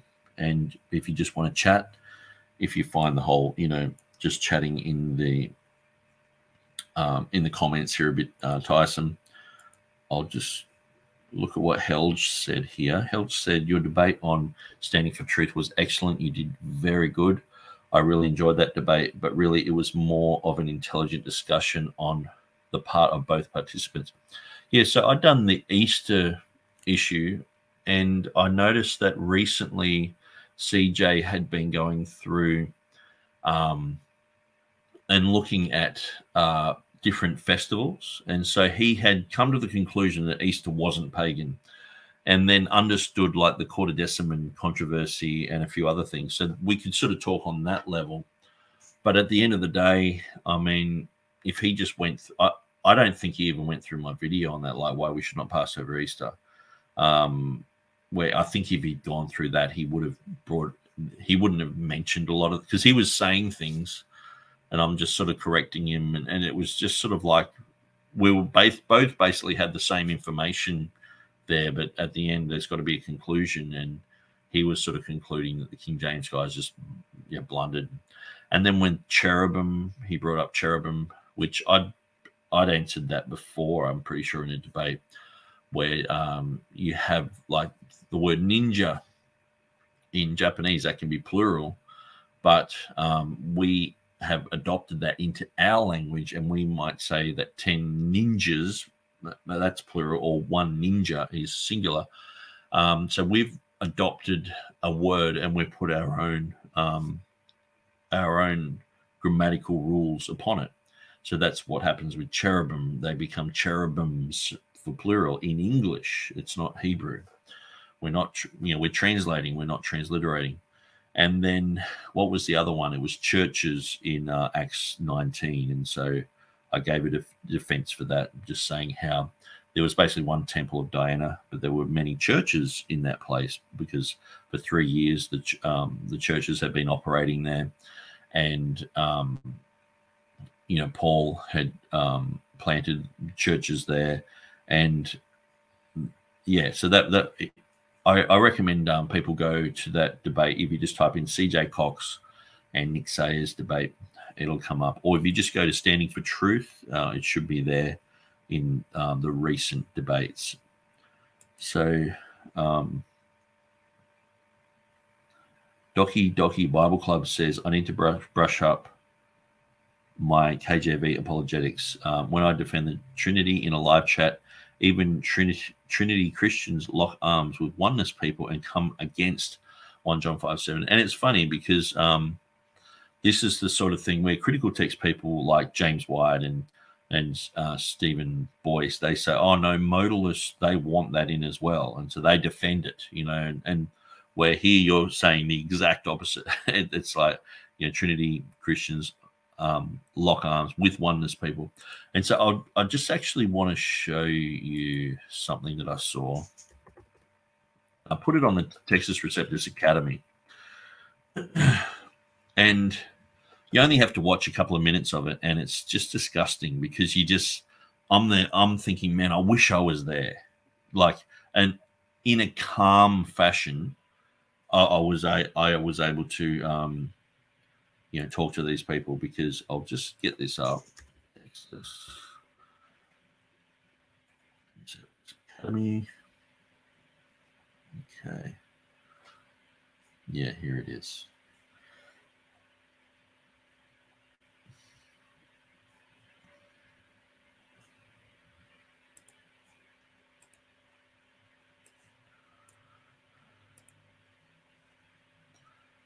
Okay, so check this out. You can be sure and be certain about that there was no textual corruption happening within this thousand year gap. Because normally as time goes by, people can manipulate and change and distort the text, as we have seen in the example of the biblical text. There's book written by Metzger. Bruce Metzger passed away recently co-authored by co-authored by um, Bart Ehrman. It's called The Text in the New Testament from corruption, right, and to restoration. This is a, a fake memory of title, but it's there. Corruption to restoration of the text. Right? I can give you a picture. I can pull it out exactly the title. So there are books written about showing how the text of the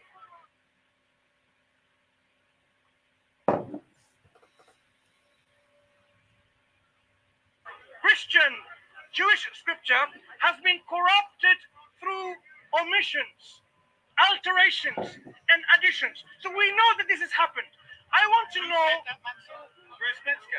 This is a whole book about showing the corruption, intentional and otherwise. And otherwise. The quote. Bart um, the position I argue for in misquoting Jesus does not actually stand at odds with Professor I'm not talking about misquoting Jesus. The essential Christian beliefs are not affected by the textual variants in the manuscript. That's not my argument either. My argument isn't that the New Testament. No, my, my argument isn't. Let me one second. My argument here is not that the major Christian dogma is affected or unaffected. My argument is there has been. Hang on. My argument is there are intense. Why is he talking when I'm explaining to you? Man, tell him to stop when I'm talking to you. So, So, um, whoops, I'll just drag that back here.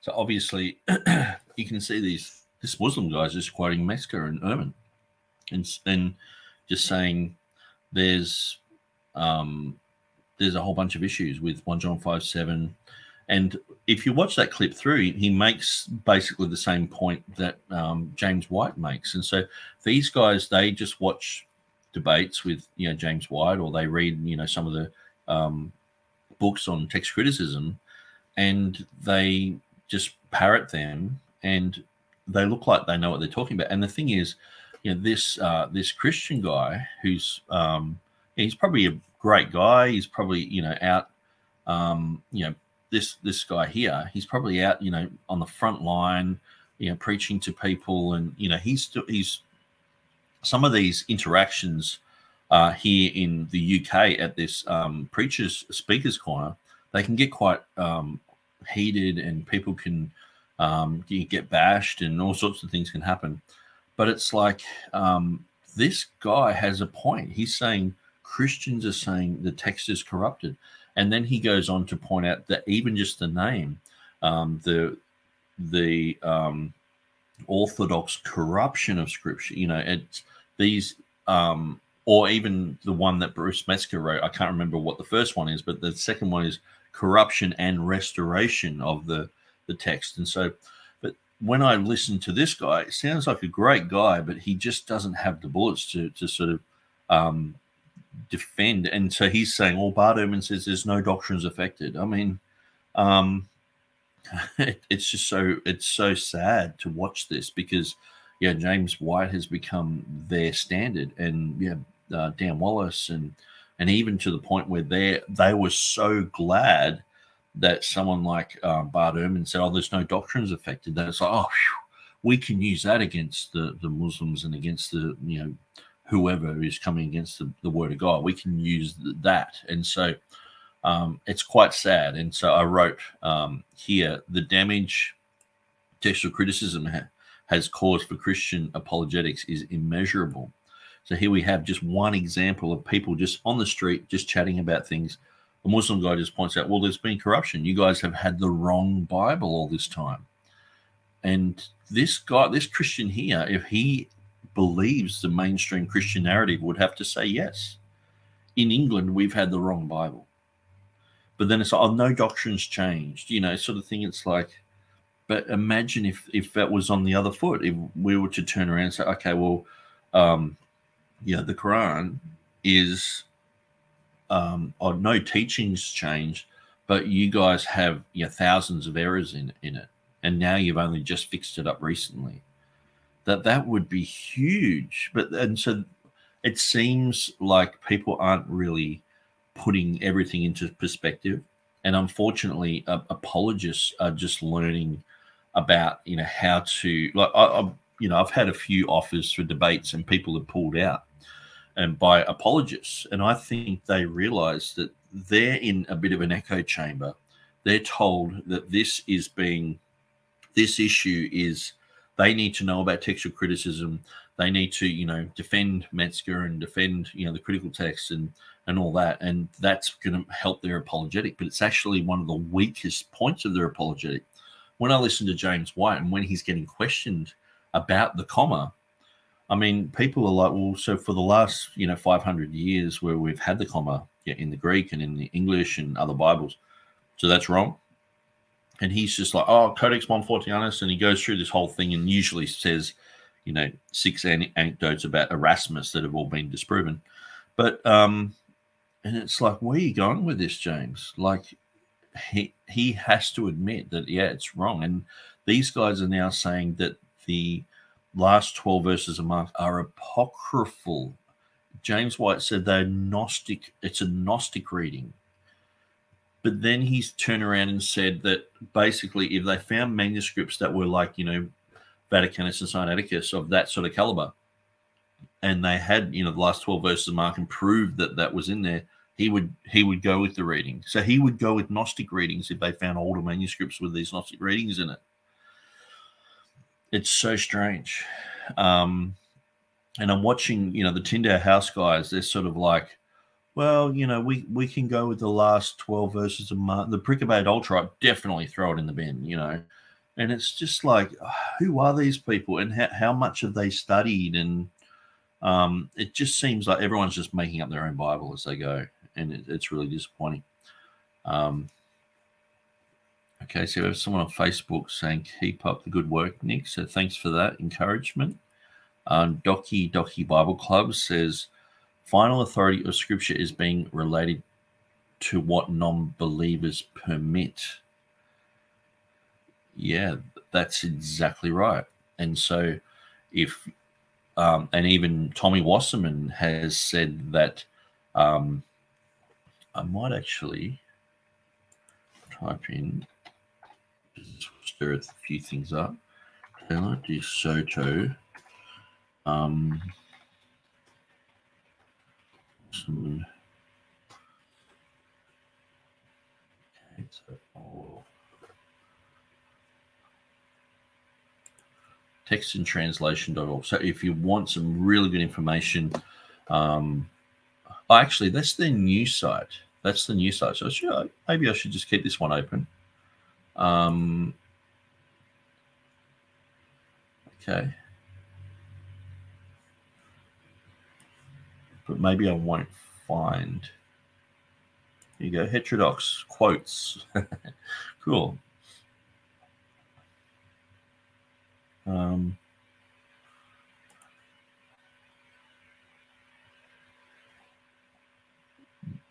oh, yeah.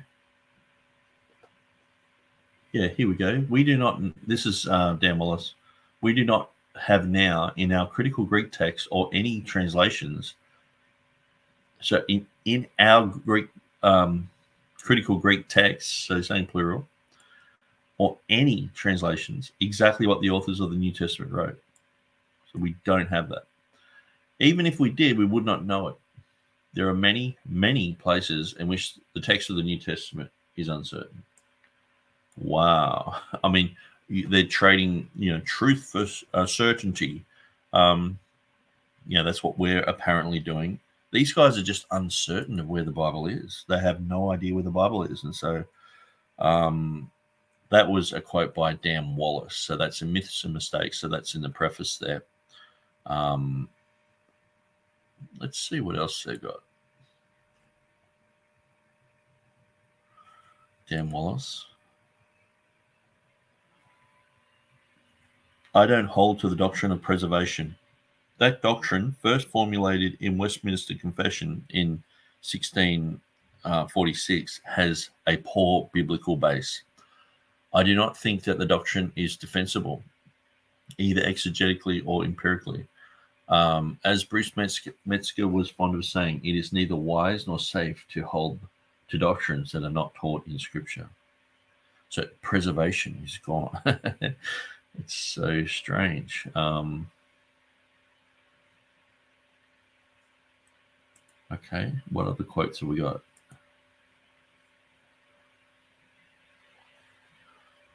Dirk uh, Jongkind I do not believe that God is under any obligation to preserve every detail of Scripture for us.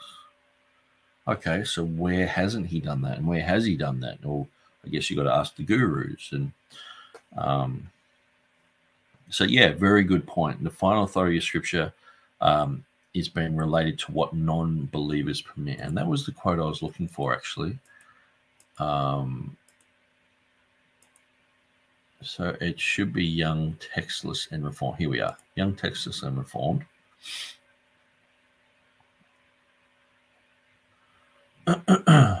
um, okay, I'll just type in.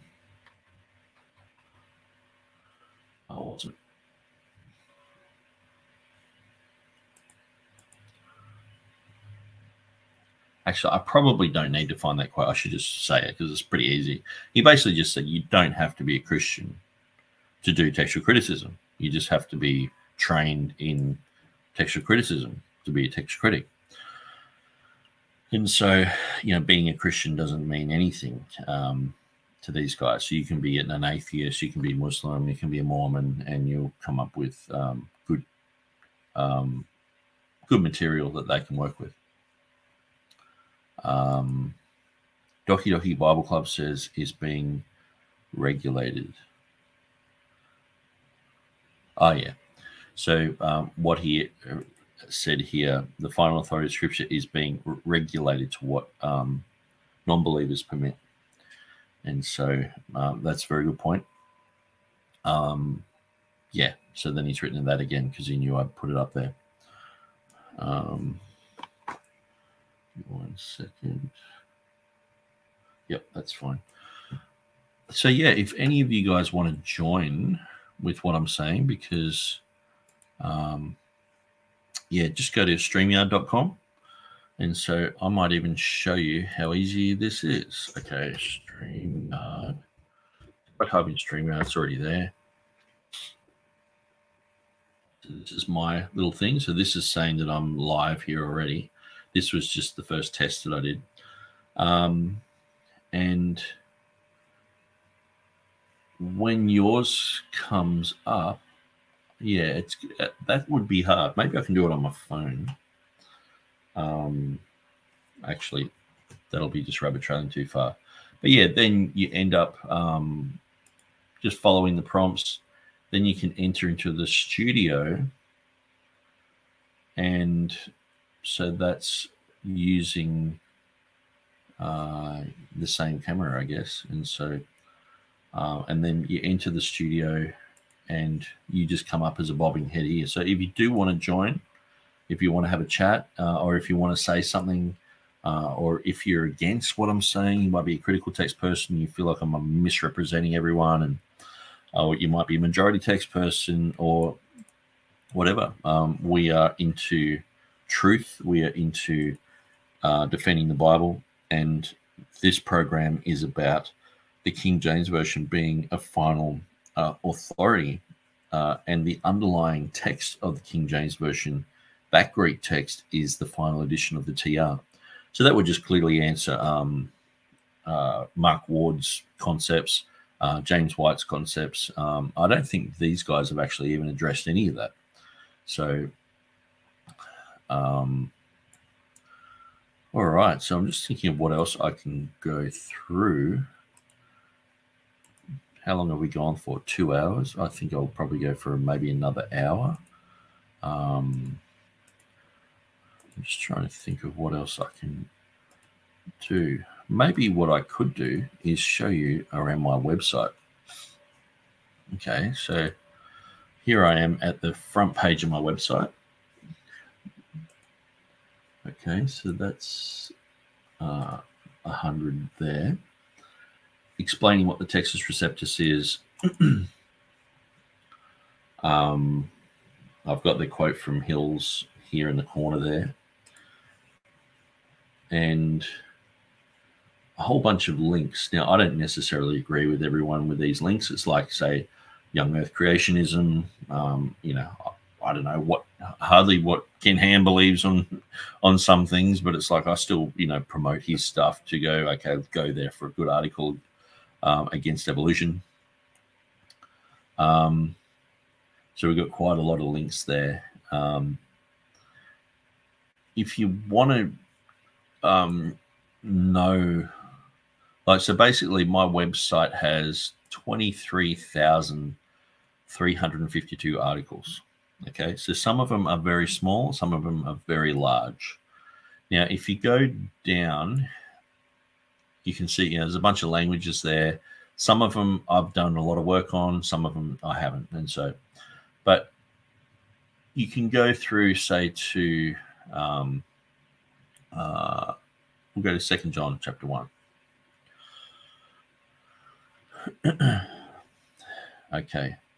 So I'm going to make this nice and big so you can see it because we don't want you squinting. Okay, so the the English is coded to Strongs. And so we've coded all those in. So if you were to look at, you know, say Christ, it would take you there. Christos, um, and so also I'm working on a project which is scriptures containing um, Christos, and so uh, and I'm trying to put all the Strong's numbers in there as well. So obviously here it sort of ends, but it will still give you where they are, and so um, yeah, that get, just goes down to Revelation. So if you're doing a study on Christ or you know uh, any type of word in the Greek, it'll show you exactly where it is and how it's translated. So that'll be a powerful tool once that's completed. Um, and also, this is just like a, just a sort of bog standard like a stub. If you go to, um, say, if I was to go to um, Matthew 1.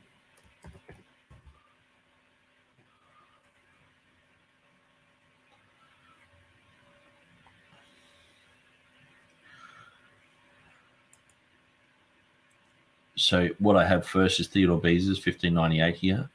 Vivlos Genesios Jesu Christu Ua David Ua Abraham.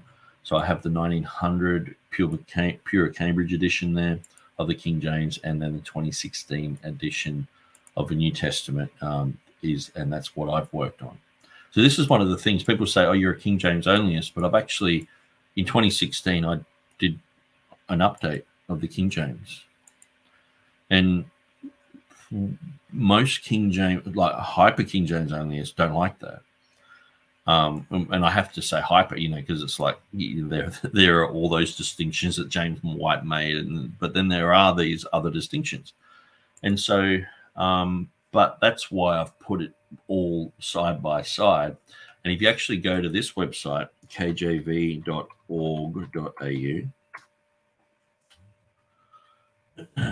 um, good friend of mine uh, who runs Textus Receptus Bibles, he's put in um, so we get parallel Bibles. So you can compare side by side um, the 1900 to the 2016, and so and that's what I wanted. I wanted people to be able to go through and check. And so you know, I've put put in things like um, you know punctuation and things like that, and um, you know sometimes you know the the standard spelling Emmanuel. Um, the older style of Emmanuel uh, is in the 1900, and so just things like that. Um, most of the time, it's exactly identical. There might be a bit of capital, capitalization in the King James, sort of like that's in the middle of um, a, sen- you know, a sentence that has a capitalization because it goes to the next verse and things like that, which I don't have.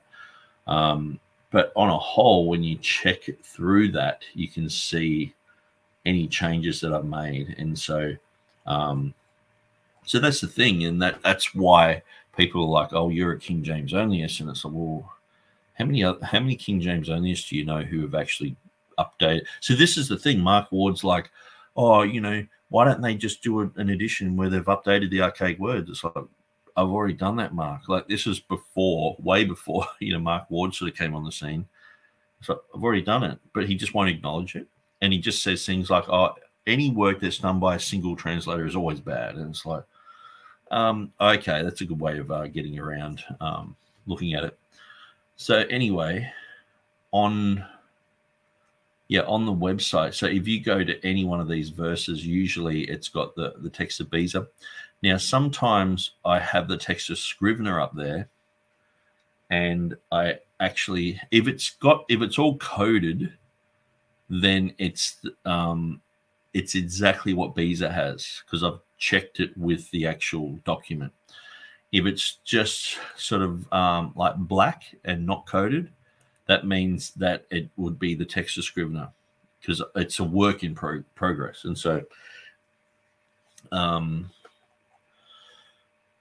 so yeah, so with using my site, there's there's so much information. Like um, say with Matthew one, there's you can you know check these the 1611 here 1900 here the 2016 here and um, you know parts of speech what case tense number gender etc um, the strong's numbers you can go through all them and so you might want to look at you know, vivlos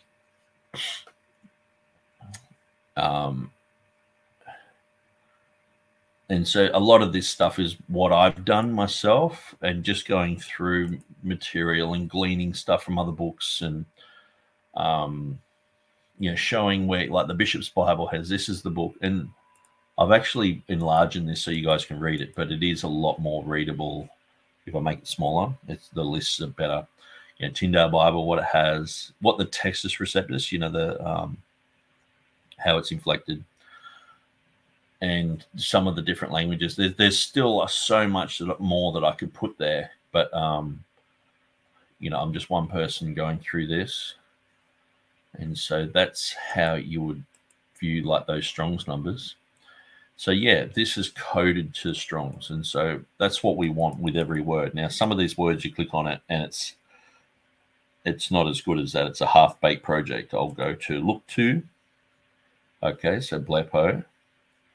Um, I haven't got all the stuff that's usually on the bottom there, so that needs to change.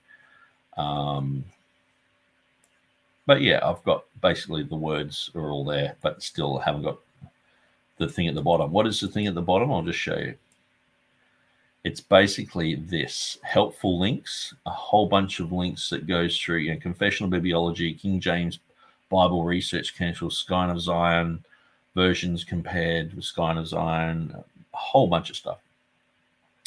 Then internal links. These are some of the more popular ones that people would look for. Um, you know, why we should not pass over Easter. That's a big one there. Um, Scrivener's uh, 191 variations. And then we have like a list of papyri. So if you want to know about P23, you can click on that one. and just as I was saying, there's zero about about that one. So let's go to P9. Okay, so that's the thing. Sometimes you go there and it's nothing there, but at least you know the more that I try, see there's nothing there as well. So if I go to P1, the papyrus is one that I haven't really worked much on. All the rest of them are usually there. Okay, so P1. So we have, you know, um, what P1 is. We have a picture of it, description, and then we have you know what's written down in P1, and so we can uh, look at all that, and then we have uh, according to Hoskier, you know what he has there, and so um, then the history of this, and then so I also put in um, a whole bunch of stuff written about this, so uh, you can you can go and check that out. You know exactly what um, Grenfell and Hunt wrote about it and um, their take on it and the Nomina Sacra, etc. So that's all on my site. Um, if anyone wants to help edit this page, just contact uh, or this website, contact me. Most of the minuscules have been done, so let's just check out a random one. 430 here. Okay, so minuscule 430. So it's 11th century. Um, it's in the Bavarian State Library. So it just gives a little bit of info. And some people at Aylens looked at it. Caspar, Rene, Gregory, Scrivener. Um, and so, yeah. And then after the minuscules, was it the minuscules? Yeah. And then we have uh, uncials, so we might look at say 15. Let's look at that. Okay, so they're just a redirect somewhere. So obviously, all wherever it's red, it has to be done, and some of the blue ones are um, they need to be done too. So yeah, it just gives you a understanding of what's there, um, etc. And then down the bottom, uh, lectionaries. So still a lot of work to do with all that. And that's my book, Revelation 16.5. B is the expansion of the rare nomen sacrum form of Jehovah, and I am in the final triadic declaration. So this is basically like I'm trying to make it like Wikipedia, but for um, trying to make it like Wikipedia, but for just TR KJV issues. Okay, so let's look at what's being said here. Uh, Doki Doki Bible Club says I can't join at work. Uh, if you copy and paste that StreamYard link into the chat box, it makes it easier to click and join. Okay, so I'll just um, oops, I'll just uh, here we go. Let's look at YouTube. That's where most people are, I think.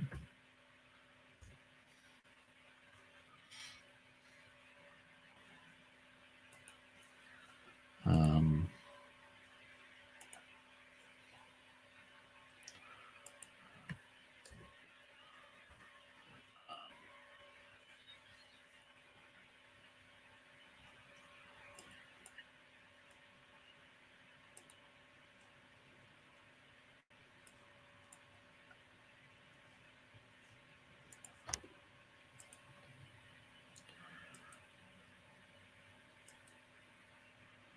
Yeah, so some of these pages have a lot of info. So usually I've got that type of info um, down the bottom in the internal links. So say like Revelation 16.5.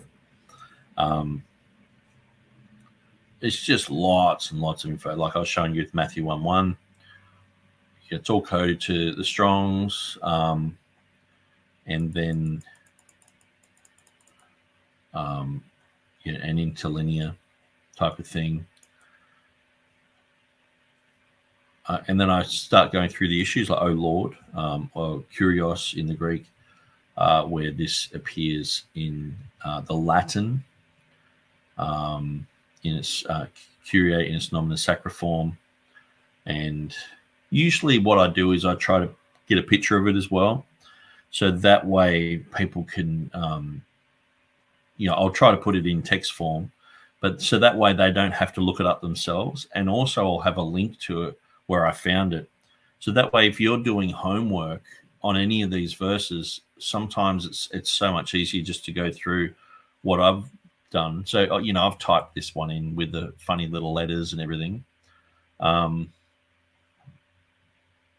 that's sort of you know what it says there, and put the you know nomina sacra lines there, and underlined it which looks a bit weird because it's nomen sacra above and that's underlined below. But um, yeah, so then minuscule um, two three four four that has uh, Kyrie there. So, and the thing is, yeah, nomina sacra is it's difficult because it sometimes can just be regulated to you know two letters, which can drop out quite easy.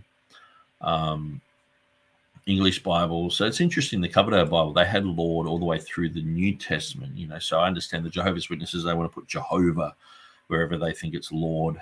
Um, and so then we're looking at the Ethiopic um, Lord there. It's in the Ethiopic. But then we see, like, you know, in Psalm 119, uh, verse 137, it actually sort of almost verbatim quotes Revelation 16:5. So we have um,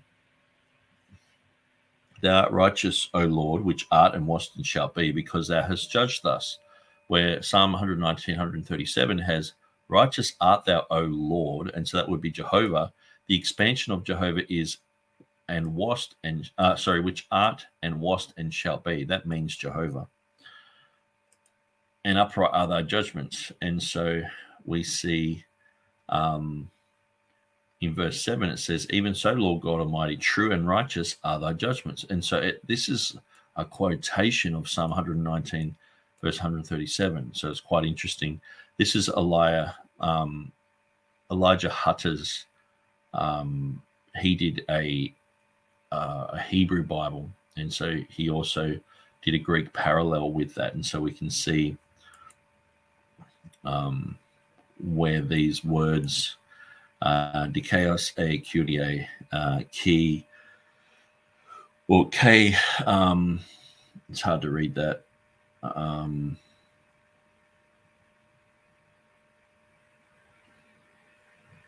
yeah I know that's Sue at the end but it's hard to read uh, that type of uh, writing. But here we have it's interesting in the yeah, so what I do is the similarities in Greek. I've got it, um, got them here. So, dikaios a kurie kai, ethes a uh, chrysisu. And so we see that the word Lord, that's an expansion of Jehovah, all of that. So if we just take that for Lord, it's basically um, sort of exactly the same, except, you know, that's around the different way with the E there. And then we see verse 7, uh, it's saying, uh, Ne Kyrie uh, Hothias Hopetokrator. And so it's uh, Lord, uh, the God, the Almighty. Um, so that's um, true. Uh, Kai Dikai, so true and righteous uh, are your judgments. So um, Chrysisu, so you can see where that's uh, written here. This the exact same words, and so it's quite interesting.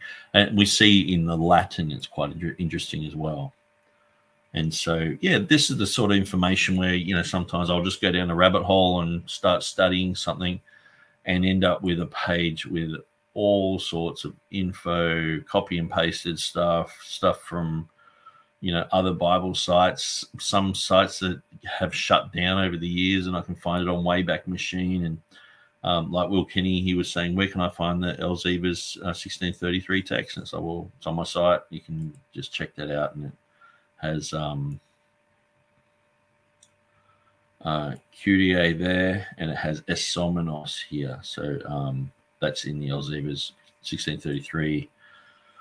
So this is just to give you a bit of an idea of what's on my site. You know, the the Statenvertaling, uh, the Dutch Bible, uh, they has and who will be or who shall be the equivalent. Um, so there's quite a lot of information. We've got Isaac Newton. He was quoting it uh, Isomenos saying it came from Beza from an ancient manuscript. Um,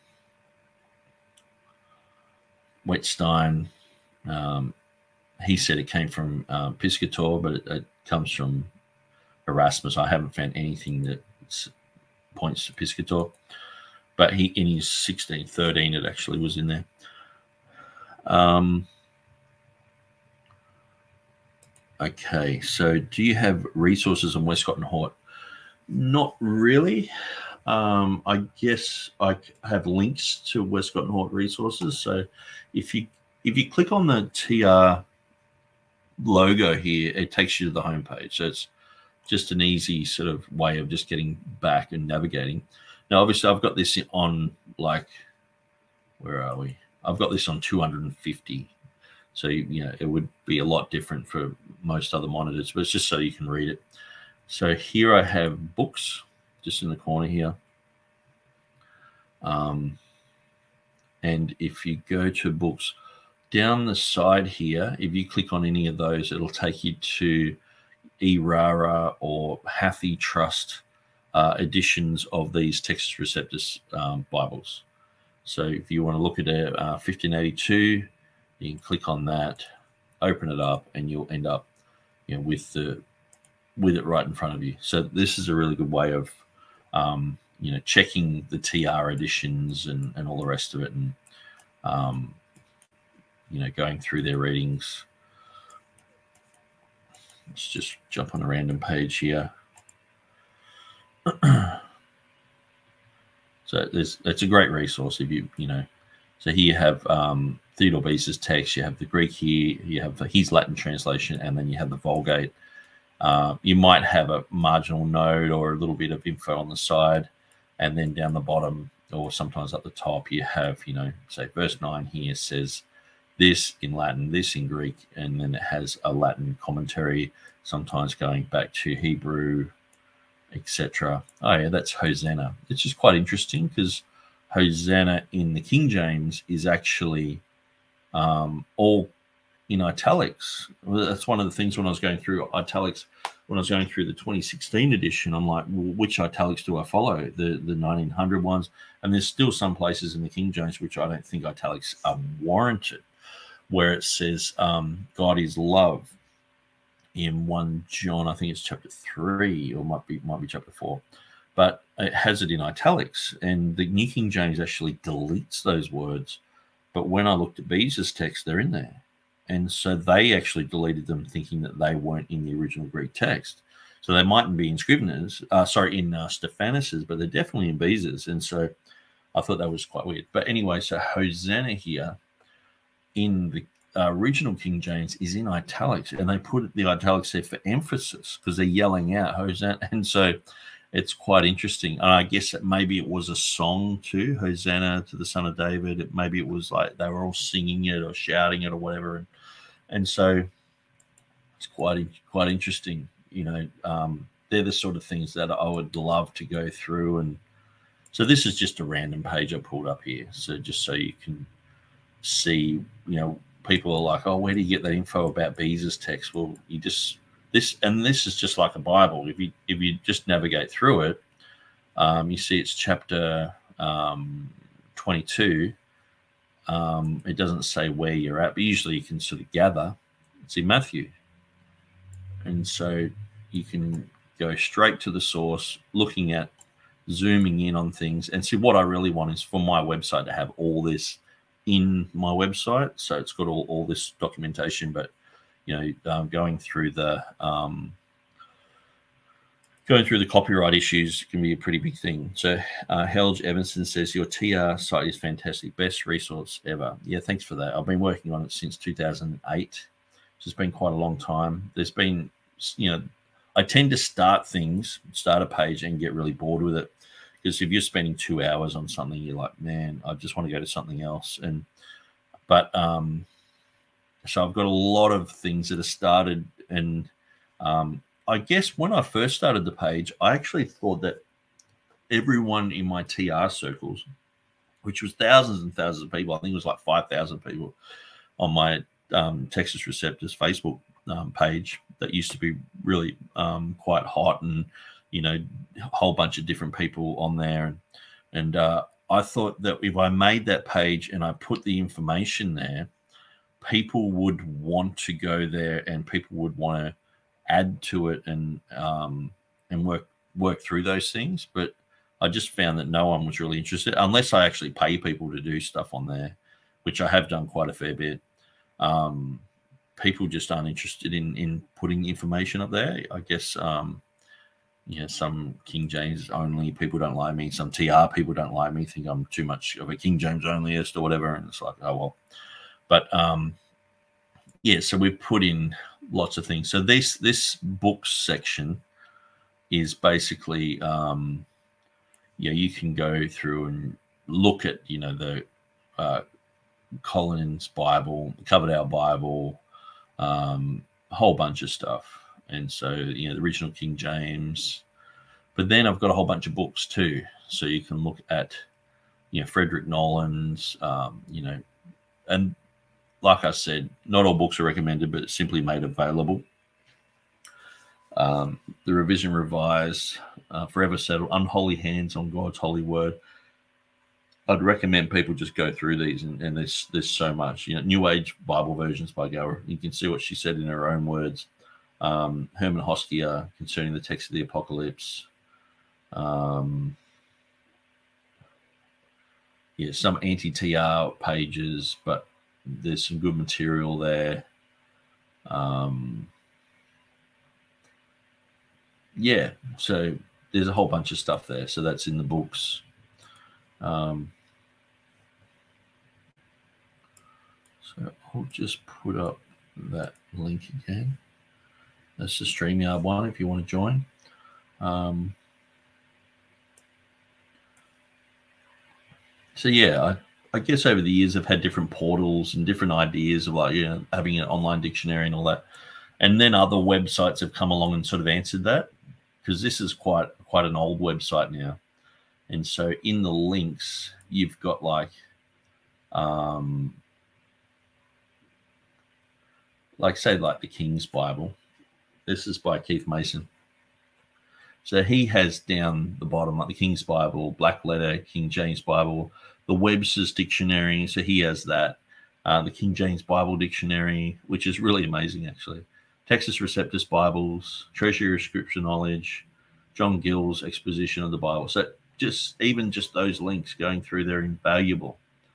Um, yeah, Textus Receptus Bibles, great website. Um, really good information there, and you know he's put my one up there, the 2016. So you can compare that with everything else that's there as well. That's at the top of the list. You can go down there and you can check out TR editions and uh, variations and things like that. So yeah, very interesting, very interesting. So that's just one of the links. Um, like even KJV Asia, a lot of people don't know about this website. A whole bunch of material. Um, modern version surgeon. Uh, maybe it's Spurgeon, surgeon. Um, James Price's indisputable error in the King James Bible. So, yeah, a whole bunch of. Um, okay, so he's saying Isaiah thirteen fifteen. It's an indisputable error. Blah blah blah. So they've got an article on that, and so and it's good that people are just sort of choosing random things here and there and um, and doing articles on it. So they actually they've got a heap of really good articles actually. Um, very interesting. There's a whole bunch of articles there. So yeah, that that's interesting. Um, what else have we got? Will Kinney's page. I recommend anyone doing any type of study into the um, issues of text. They just need to go to Will Kinney's page, go to King James Bible articles. I'll just expand that a bit. And usually he's written something on it, on wherever you're at. So just say we are to go to um, Hosea 3 1, flagons of wine or raisin cakes. Um, and so, you know, he'll tell you. Usually, it's a bit like with everything else. Um, like like I was saying with uh, Riplinger's books, or you know, even like the one I've got here, the serious omissions in the NIV Bible. Um, like this guy's got a whole bunch of lists that are very helpful. Like uh, I was using this the other day in my um, my debate, you know, the NASV omissions that the NIV corrected to agree with the King James Version. And so it's just a quick list. And so it's very helpful. But then he has um, he has things like, oh, when the translators lost their voice on the Ankerberg show and all this, and it's like, what what? That's just the dumbest thing I've ever heard. And and so um you know, I don't necessarily agree with that. I don't necessarily agree with you know Gary Riplinger stuff, Ruckman stuff, but it's like sometimes they have a list of stuff or they make a comment and it's like, yeah, that's true. Just like I wouldn't agree with every young Earth creationist out there. We would have our differences, but on the whole premise, there is agreement. And so with Will Kinney, there's not much we don't agree on. I mean, Will's a Calvinist and I'm not. Um, but Will um, definitely uh, he does have a little bit of um, Bible numerics where it's sort of like, you know, if things add up to seven, you know, and uh, and all that sort of stuff, and then it's from God. And, you know, if this appears in the King James Version seven times, and that's a special code for it should be of God and all this sort of stuff. And it's like, okay, well, I understand um, Bullinger. He used to be the main guy of the Trinitarian Bible Society. He was pretty um, wild with some of the, his things that he was claiming were errors in the King James. But um, but Bullinger he um, he wrote a book on Bible numbers, and it's, it's interesting. You know, gives you an interesting perspective. So I wouldn't agree with that with Will, and sometimes uh, Will have his own little thing to say, but then he just goes straight into, okay, well, what does it say here? In the context, he underlines it, he capitalizes it, and he just shows you context. And then he will show you what Dan Wallace says and what these other Bibles say. And like here we have the, the NASB, ESV, Jehovah's Witnesses, New World Translation, Holman say raisin cakes. The NIV has love sacred, love the sacred raisin cakes. The Bible in Basic English has they are lovers of grape cakes. Ancient Root uh, Translinear Bible of 2008 has love nut cakes and grapes. The Douay Rheims has they love the husks of grapes. Mm, yummy. so it's just things like that. He's got his own little commentary there, you know. And sometimes it's it's classic, you know. Um, and love the seeds of grapes. Always been one of my wife's favorite delicacies. the seeds of grapes. It's just disgusting. Um, and offered them choice gifts. Um, so the New Living Translation just omits the phrase and says, even if the people have turned to other gods and love to worship them. It's like, uh, yeah. So anyway, once you go through his, it's a bit like going through a Wikipedia article, but way more accurate. Um, he'll just show you what John Calvin says, Adam Clarke, you know, a whole bunch of people. And once you've gone through his article, you are pretty much educated on both sides. You'll see what uh, Will thinks about it and um, yeah, to me, this is an invaluable resource, and and I guess in a way, um, I point to I point people to this website all the time, even though some people don't like Will Kinney. Uh, you know, James White definitely, when he talked to him on, on his radio program once, just went totally unhinged. Uh, when Will was like, "Okay, so where's the Bible?" He's like, "Ah," and just just threw sand and dust in the air and just carried on like an idiot, and um, just called him a cultist, and that was it. Um, okay, so what are some of the other websites here? Um,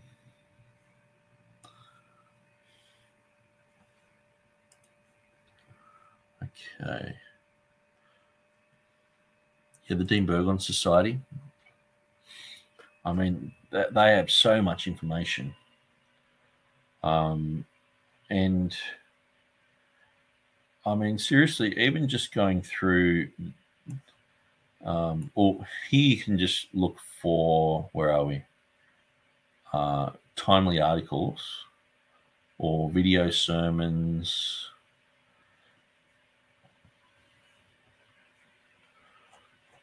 Or down the bottom here, King James Bible or critical text.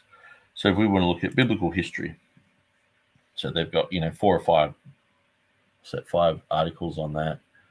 Westcott and Hort's text and theory refuted. I was actually, yeah, someone asked me about Westcott and Hort, and that's why I came here. Um, I sort of rabbit trailed, but what I was actually looking for. So yeah, that's D.A. Waite. He's got his own article on Westcott and Hort and all the rest of it. Um, and some of this material is just gold. Um, you know, the testimony of Homer Hoskier, the printed text of Westcott and Hort has been accepted as a true text, and grammars, work on the synoptic problem, works on high criticism, and others have been grounded on this text. So it's uh, Hoskier, uh, Greenlee, D.A. Carson, Pickering, and so these guys are just basically saying, you know, that the critical text is the Westcott and Hort text because that was a big thing back in the day. People separating themselves from Westcott and Hort. Now they've got the um, Tyndale House text. They can do that. They say, "Oh no, we go back to Tregelles, not Westcott and Hort." It's like okay. But what's interesting is I was actually reading the introduction to the um, the United Bible Society text, and um, where am I? It was quite interesting. I might just read this uh, for you. Sorry about my cough there. I've got a bit of a morning um, breath happening. Okay, so let's. I guess when you've been talking for like nearly three hours, you start getting a bit croaky, which is why I've got water here. And if anyone else wants to join, you can um, you can say whatever you want, have a chat, promote your website, promote your ministry, do whatever you want. Um, Doki Doki Bible Club said, "What brand of laundry detergent to use for blessed are those who wash their robes?" Um, non KJV versions.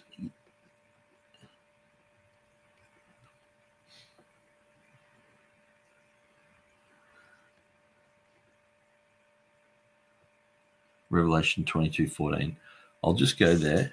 Revelation 2 14. Um,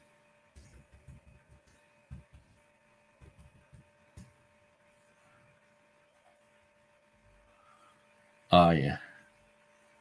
Where the King James has, Blessed are those who do his commandments, where the other ones have, Blessed are they who wash their robes. So I'll just show you. And this is another good site Scion of Zion. Now, I might actually, they usually have a link here, go back. This page here shows you how many he, he got. He's got 700 or something places. So you go through the New Testament. I mean, if you're going through and studying Acts and you can go through these, click on Acts 241, it'll show you or they've admitted gladly. Then they then they received uh, they that received his word were baptized.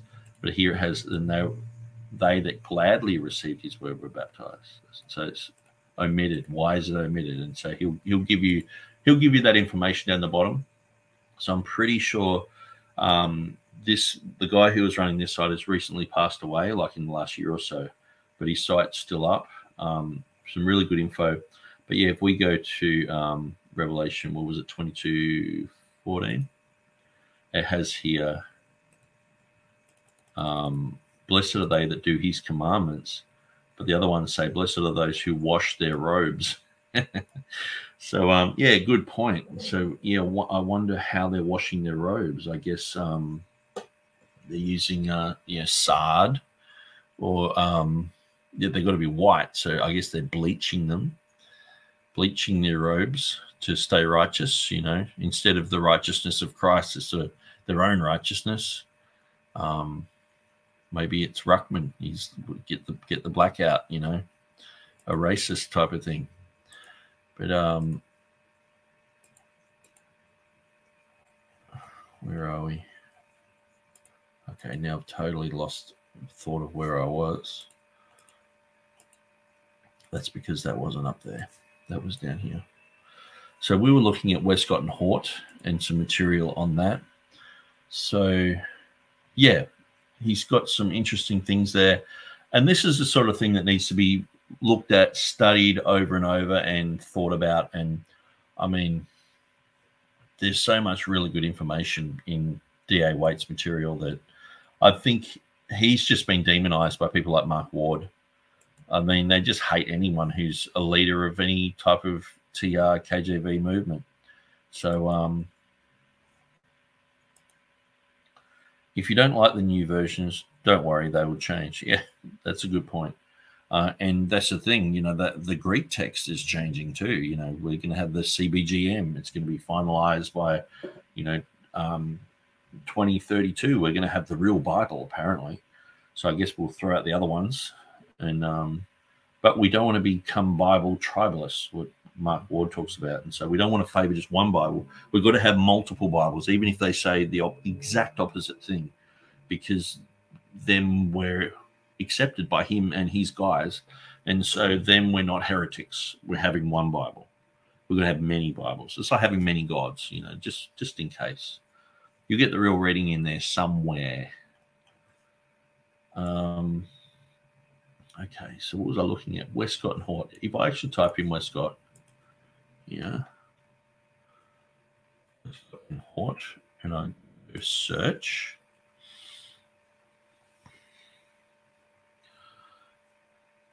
This article by Phil Stringer.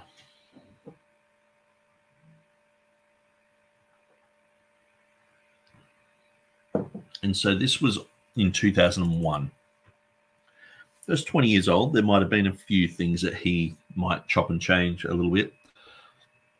But he's got quite a lot of good information here, you know, when they were born. And um, there is actually a website, which is probably why I was looking at books. That's why I was guided to books and ended up rabbit trailing. So go back to the books. Maybe um,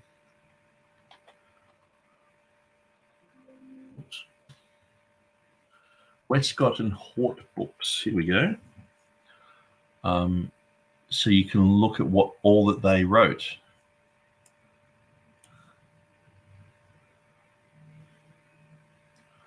So it's good to get um, good source documents. Okay, so this is westcottandhort.com or westcotthort.com, um, a, the, a resource center. So let's get this blown up a bit. I am the way, the truth, and the life. Uh, biographies, bookshelf, articles, New Testament bookshop, bookshop links about this site. So you've got quite a lot of info here. So this would be, um, I don't, I think these guys are favourable to Westcott and Hort, but it's that's fine. Sometimes, um, oh yeah, a study in King James. These are oh yeah, Doug Kutilek, Westcott and Hort versus Textus Receptus, which is superior. Um, so Kutilek is like sort of, you know, Dan Wallace, James White, but a bit on steroids. Um, so I guess that's the thing. Some people have made accusations against Westcott and Hort that are that are not, um, you know, that correct. But the thing is, then they throw everything out, and that's what I find is like you know, like James White will just wait until some really kooky guy says what's become popular on the internet, and then it's like, oh, well, he's saying it, so it must be wrong. It's sort of thing. It's like, well, um, what about how about we just deal with Westcott and Hort? They on their revision committee, they had Unitarians working there. How about we deal with that first? George Vance Smith was a Unitarian, didn't believe in the Father, Son, and the Holy Spirit. And he wrote a book about how the doctrines are changed in the Greek text because of the the emission of God was manifest in the flesh and how he's very happy about that. Um, and so that would be a starting place, and then we work from there. Because to me, that's just that writes these guys off almost completely. That they're hanging around a guy who's probably worse than the Jehovah's Witness, and he's working on their text. I mean, and uh, you know, if we were to go back to um, you know, Dean Burgon Society uh, literature, we can see where um, obviously well, I won't go there, but obviously Westcott and Hort, um, their text is the base text for uh, all the critical texts. But, so let's open. Oh yeah, so you got re- revision revised here. Um,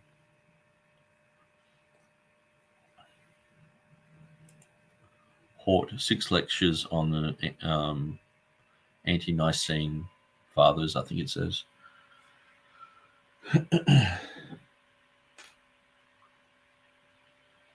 Very cool.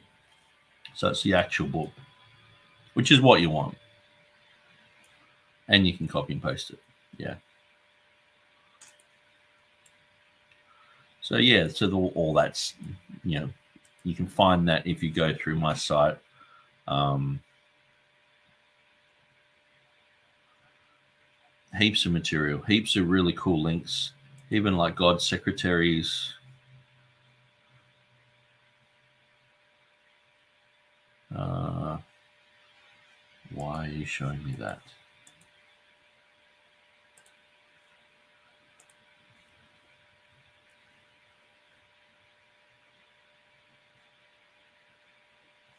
Yeah, the whole book, God's secretaries. Or maybe it's not the whole book.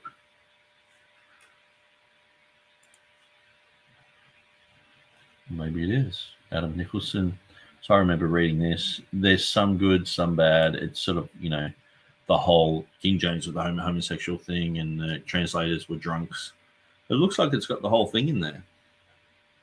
So that's, you know, you can read through that. And, and like, in all honesty, anyone wanting to look up anything to do with texture criticism, just go to pdfdrive.com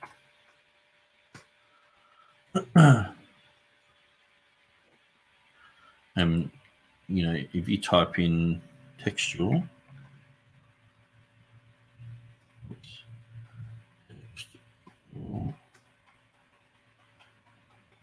criticism, bang, Brill books, a whole bunch of things.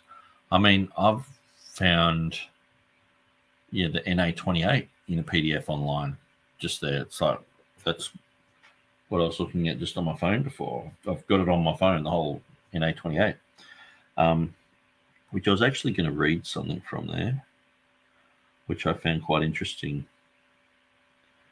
Listen to this. In 1898, Eberhard Nessel, or Nestle, I've got to start calling him Nestle because that's how, how it's pronounced. I call him Nessel. Eberhard Nestle published the first edition of his Novum Testamentum Graece. Based on a simple yet ingenious idea, it disseminated the insights of the textual criticism of that time through a hand edition designed for university and school students for church and for church purposes. Uh, Nestle took the three leading scholarly editions of the Greek New Testament at the time by Tischendorf, Westcott and Hort, and Weymouth as a basis. After 1901, he replaced the latter with Bernhard Weiss's uh, 1894 1900 edition, where the textual decisions differed from um, each other. Nessel chose for his own text the variant which was preferred by two of the editions included, while the variant of the third was put into the apparatus. So you notice what Nessel did. He just got Tischendorf, Westcott and Hort, and Weymouth. Where they agreed, he would go with that reading. If two of them agreed, he would go with that reading. So if three of them agreed to go with the reading, two of them agreed they go in the reading. If there was a difference, he would point it out in the margin. Um, and so that's how the Nestle, Nestle, I should say, text started. The textual, the text critic apparatus remained rudimentary in all the editions published by Eberhard Nestle. Nestle. A primary apparatus displayed as witnesses only only the editions mentioned above, while a second apparatus initially contained only readings from Codex Bezae. Subsequently, evidence from other important manuscripts was added. Uh, it was Eberhard Nestle's son, Erwin, who provided the 13th edition in 1927 with a consistent critical apparatus showing evidence from manuscripts, early translations, and patristic citations. Now, the Nestle um, met the standards of scholarly hand edition of the Greek Testament However, these notes did not derive from the primary sources, but only from editions um, above all that of von Soden. Uh, this changed in the 1950s when Kurt uh, Aland started working for the edition by checking the apparatus entries against the Greek manuscripts and editions of the Church Fathers. This phase came to a close in 1963 when the 25th edition of the Novum Testamentum Graece appeared. Um, later printings of this edition already uh, carried the name Nestle Aland in on their covers. Uh, the 26th edition, which appeared in 1979, featured a fundamentally new approach. Until then, the guiding principle, with very rare exceptions, had been to adopt the text supported by a majority of the critical text editions referred to. Uh, now the text was established on the basis of source material that had been assembled and evaluated in the intervening period. Uh, it included early papyri and other manuscript discoveries, so that the 26th uh, edition represented the situation of textual criticism in the 20th century the text was identical to that of the third edition of the UBS Greek New Testament, published in 1975, as a consequence um, of the parallel work done on both editions. Already in 1955, uh, Kurt Aland was invited to participate in the editorial committee with Matthew Black, Bruce M. Metzger, Allen Wikgren, and at first, Arthur Vööbus and later Carlo Martini.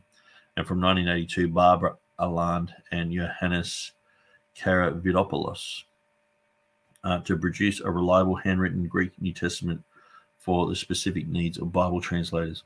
So I'm just, this is the NA 28 introduction. So it's quite interesting that at first there was the Tischendorf, Westcott and Hort, and Weymouth. So they were the main ones that they went to. So it's interesting that um, someone, I think it was, um, it could have been David Cloud or Kirk DiVietro. They actually wrote to Bruce Metzger and says, "How did you start your um, your Bible text? Um, you know, what did you start with?" And they said, "Well, we went with Westcott and Hort. That we got their text first, and then we changed things from there." So it's interesting, you know, someone like James White will say that we are um, we kind of you know, TR people don't have a, a methodology, and uh, you know our methodology is all over the place. One minute we're saying one John five seven should be in there because of internal evidence and, and grammatical issues. Next minute we're saying we go with a majority text. And, you know he makes up stuff all the time and says that that's our methodology. But look at these guys.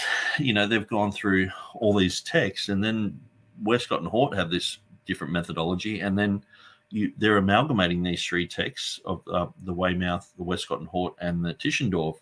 And then um, later on, they're abandoning that in the 1970s and they're going with this other method.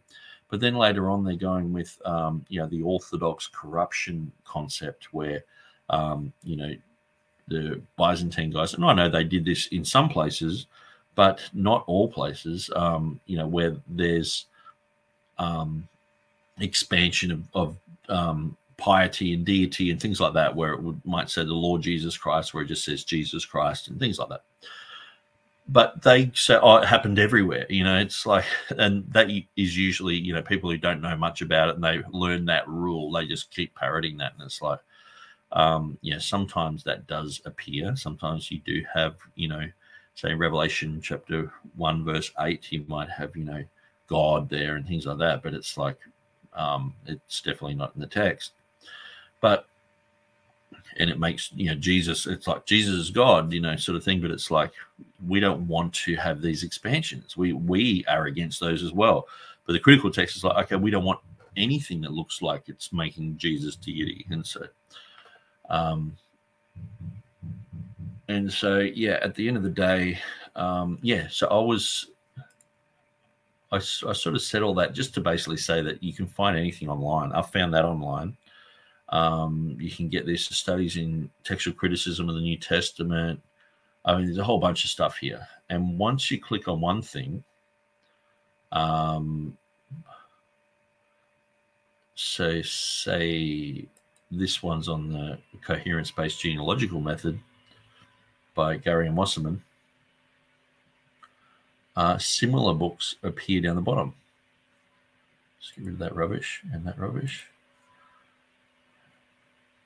And so, yeah, as you can see, this is this is quite interesting. Um, Helge Evanson says uh, Dirk Jongkind was on Dwayne Green's channel earlier today, yesterday, and it was interesting to see how weak he was on preservation. But that is a critical text position. They cannot be strong on preservation. And that's so true.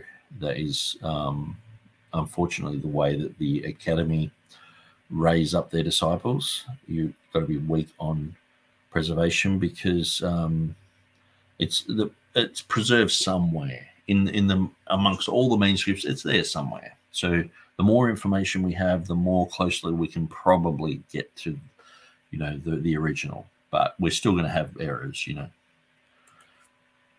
Doki Doki Bible Club says um, I'd see why people would want to distance themselves from Westcott and Hort in their own writings. Uh, in in their own writings comes come things like calling the atonement an immoral doctrine, divinity of man, evolution in Genesis, etc. So yeah, that's um, that's interesting, and that's where I guess there have been uh, there has been a little bit of overreach with quoting Westcott and Hort, and so that's why it would be good to um, have some good source material. So I know um, someone like Phil Stringer, he's pretty good with his studies, and so that's why I pointed to that one on my website. But um, apart from that, I'd go to the Westcott and Hort their own page and read what they said for themselves. Um, and uh, D.A. Waite seems pretty good too, and so most of the guys from Dean Burgon Society are pretty good. Um, if anyone, Helge Evanson, if anyone does not have a settled text, one's preservation becomes weak. Yeah, absolutely. If you don't know where to find the words of God, you're you're going to be trying to find them somewhere in the Septuagint or uh, different manuscript, or if a new finding happens, papyri that turns up, it's like, well, you're going to have to um, find the words of God somewhere, or just admit that you don't have all the words of God and so it's quite a strange concept. And you have to overlook all the scriptures that say, you know, do not add or take aught from it. You know, aught is uh, it's um, you know old English. It's in italics, but it's it's a it's to do with counting. You know, it's an, it's an accounting term. Uh, every word, every letter, every everything makes a difference. You know, when it's saying jot or tittle, I understand that the ultimate um, context of that is Jesus fulfills every part of the law. But it's like, well, you have to have every part of the law there for Jesus to fulfill the, every jot and every tittle. So it's talking about letters. It's talking about the the the smallest the, the yod is a very small letter. The tittle, the tiniest part of a letter, and so um, yeah, these things are, are preserved so that Jesus can fulfill the law. You know, and um, I think I think there's just a. Uh, it would be good to do a whole program on that actually, rather than rabbit trailing down there. Um, so Doki Doki Bible Club says, good point it held uh, Everson. So uh, talking about the, um, yeah, they cannot be strong on preservation. So yeah, preservation. I mean, why would God inspire the words of God for them just to be lost? It just seems so ridiculous. It's, um, it's it's it's bizarre. It is absolutely bizarre. I mean, usually when God creates something, um, He it lasts forever. If He says it's last going to last forever, it does. You know, He's like sun and moon and stars will last for this long, and you know, these things will be you know last for you know so long and even future prophecy it talks about dates and times and seasons and all things that are going to happen and but we can't even trust god on you know, heaven and earth will pass away, but my words shall by no means pass away. He's talking about words. He's not talking about doctrines. It doesn't say my doctrines shall by no means pass away. And the thing is, how can you separate words from doctrine? It's impossible to do. It's like separating words from the Constitution. You know, you've got the Constitution of, of the United States. It's made up of specific words that are used in a specific context. Um, how can you just turn around and just say, well, you know, we we don't go with the words, we go with the spirit of the Constitution. It's like no, we we go by the words. You know, um, I'm sure that insurance companies over the years have been, you know, they've regretted wording things in a certain way, or some people have signed a document and they thought a word meant something when it didn't. And um, but words are very important when it comes down to it. It comes down to the word. Jesus said we will be judged by his words, not by his doctrine. It's by his words that will be judged. Um, it, it talks about people who hate his words. If you hate me and my words on that day, I, I, I think it says. Um, but anyway, so any one of these books, so all you have to do, so say like this Brill one is probably worth, you know, it's, oh, it's by Bart Ehrman. It's just amazing how he is just he is like the um he's got his tentacles in everything. He's like the octopus uh, in in the academy with his tentacles all the way through it, and people are like, you know, becoming apologists to come against Bart Ehrman. They're, they're actually part of him. They, they, they don't realize that they're using his arguments. They're using Metzger's arguments that turned him into a you know fully blown agnostic atheist. Um, anyway, let's check this out. So we can download that for free.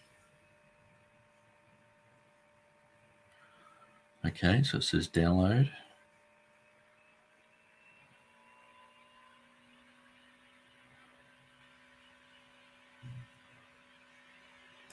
Uh, I don't want to add to Chrome.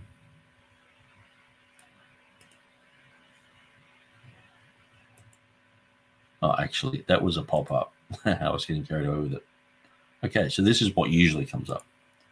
I think on my phone it doesn't have that pop up come up. Okay, so it's downloading.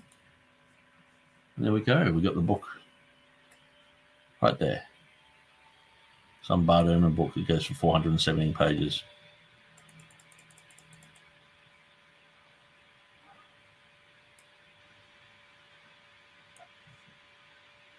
Okay, so um, yeah, I mean, people are like, you know, where where can we get these books? And man, seriously, most of it's online. I don't even really buy books anymore. Like I, I know I've got tons of books about TR and all that. Most of these are, are pre-internet. Most of the books I have behind me are pre-internet, or they're so rare that you can't get them online.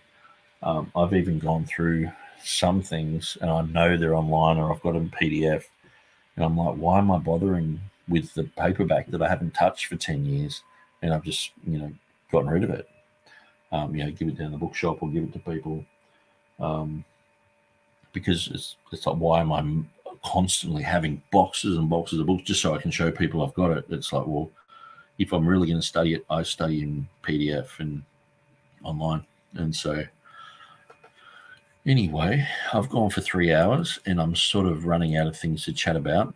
Um, what I might do is next week I might make it a a full proper um, topic. Like this is just sort of a general, you know, TR topic, history of the TR um, issue. Maybe what I'll do is I'll talk about, um, you know, something like I think I've done one on one John five seven but maybe we'll do one on, um, you know, Codex Sinaiticus, or um, I'll find something through the week. I'll think about it, and it'll be something that's pretty full on.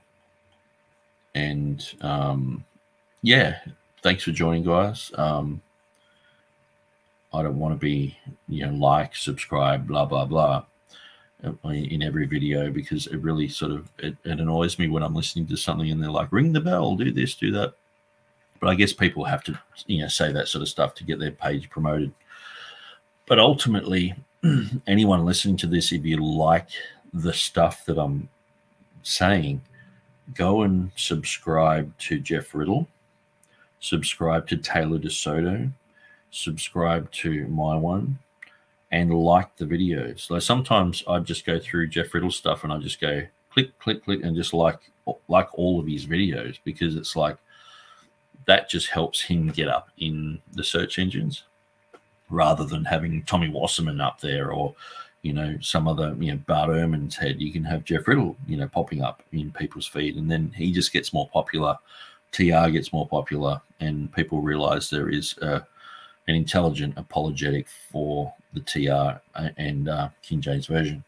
So thanks, Doki Doki Bible Club, um, for the many resources. Yeah, cool. And so there was another one that I found recently. PDF Drive. What what was it? It was.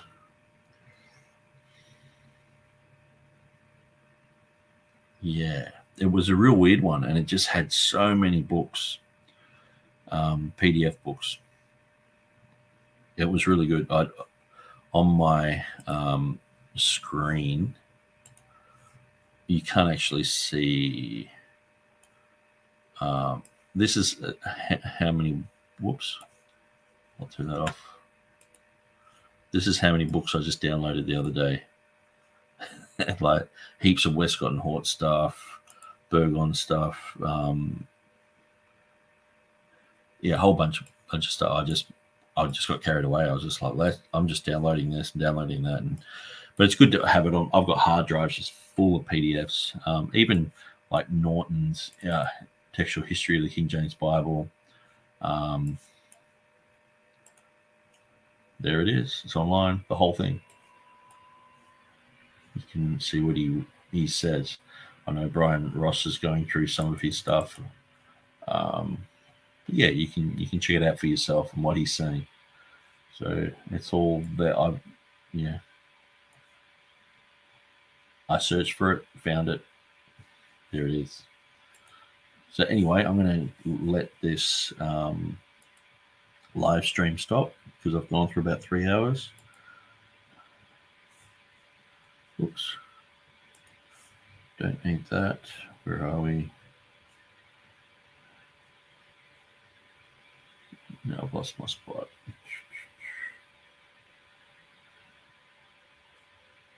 Okay, here we are. Um, so Helge says, thanks, Nick. Um, this was very informative and educating and edifying as always. So I guess in a way I didn't really have much of a topic. I'm just sort of just shooting from the hip with this and reading a few things here and there. But um, yeah, if anyone wants to interact, or if you know people who are like against the King James or against the critical text, or you know, if you're on talking terms with some of these guys like Mark Ward or uh, Tommy Wasserman or Peter Gurry, you know, invite them to come along and say, look, he'll talk to you. We can even host debates on this channel. Uh, we can do anything. And so um, I really appreciate you guys uh, joining in. I'm going to leave it there. Um, but yeah, and if you've got any ideas of what to do a show on, uh, let me know, and um, we'll we'll chat about it. Maybe just contact me on Facebook or something like that, or, or just leave the comments on the video. All right, cheers, guys. I'm going to end it right there. All right, thank you.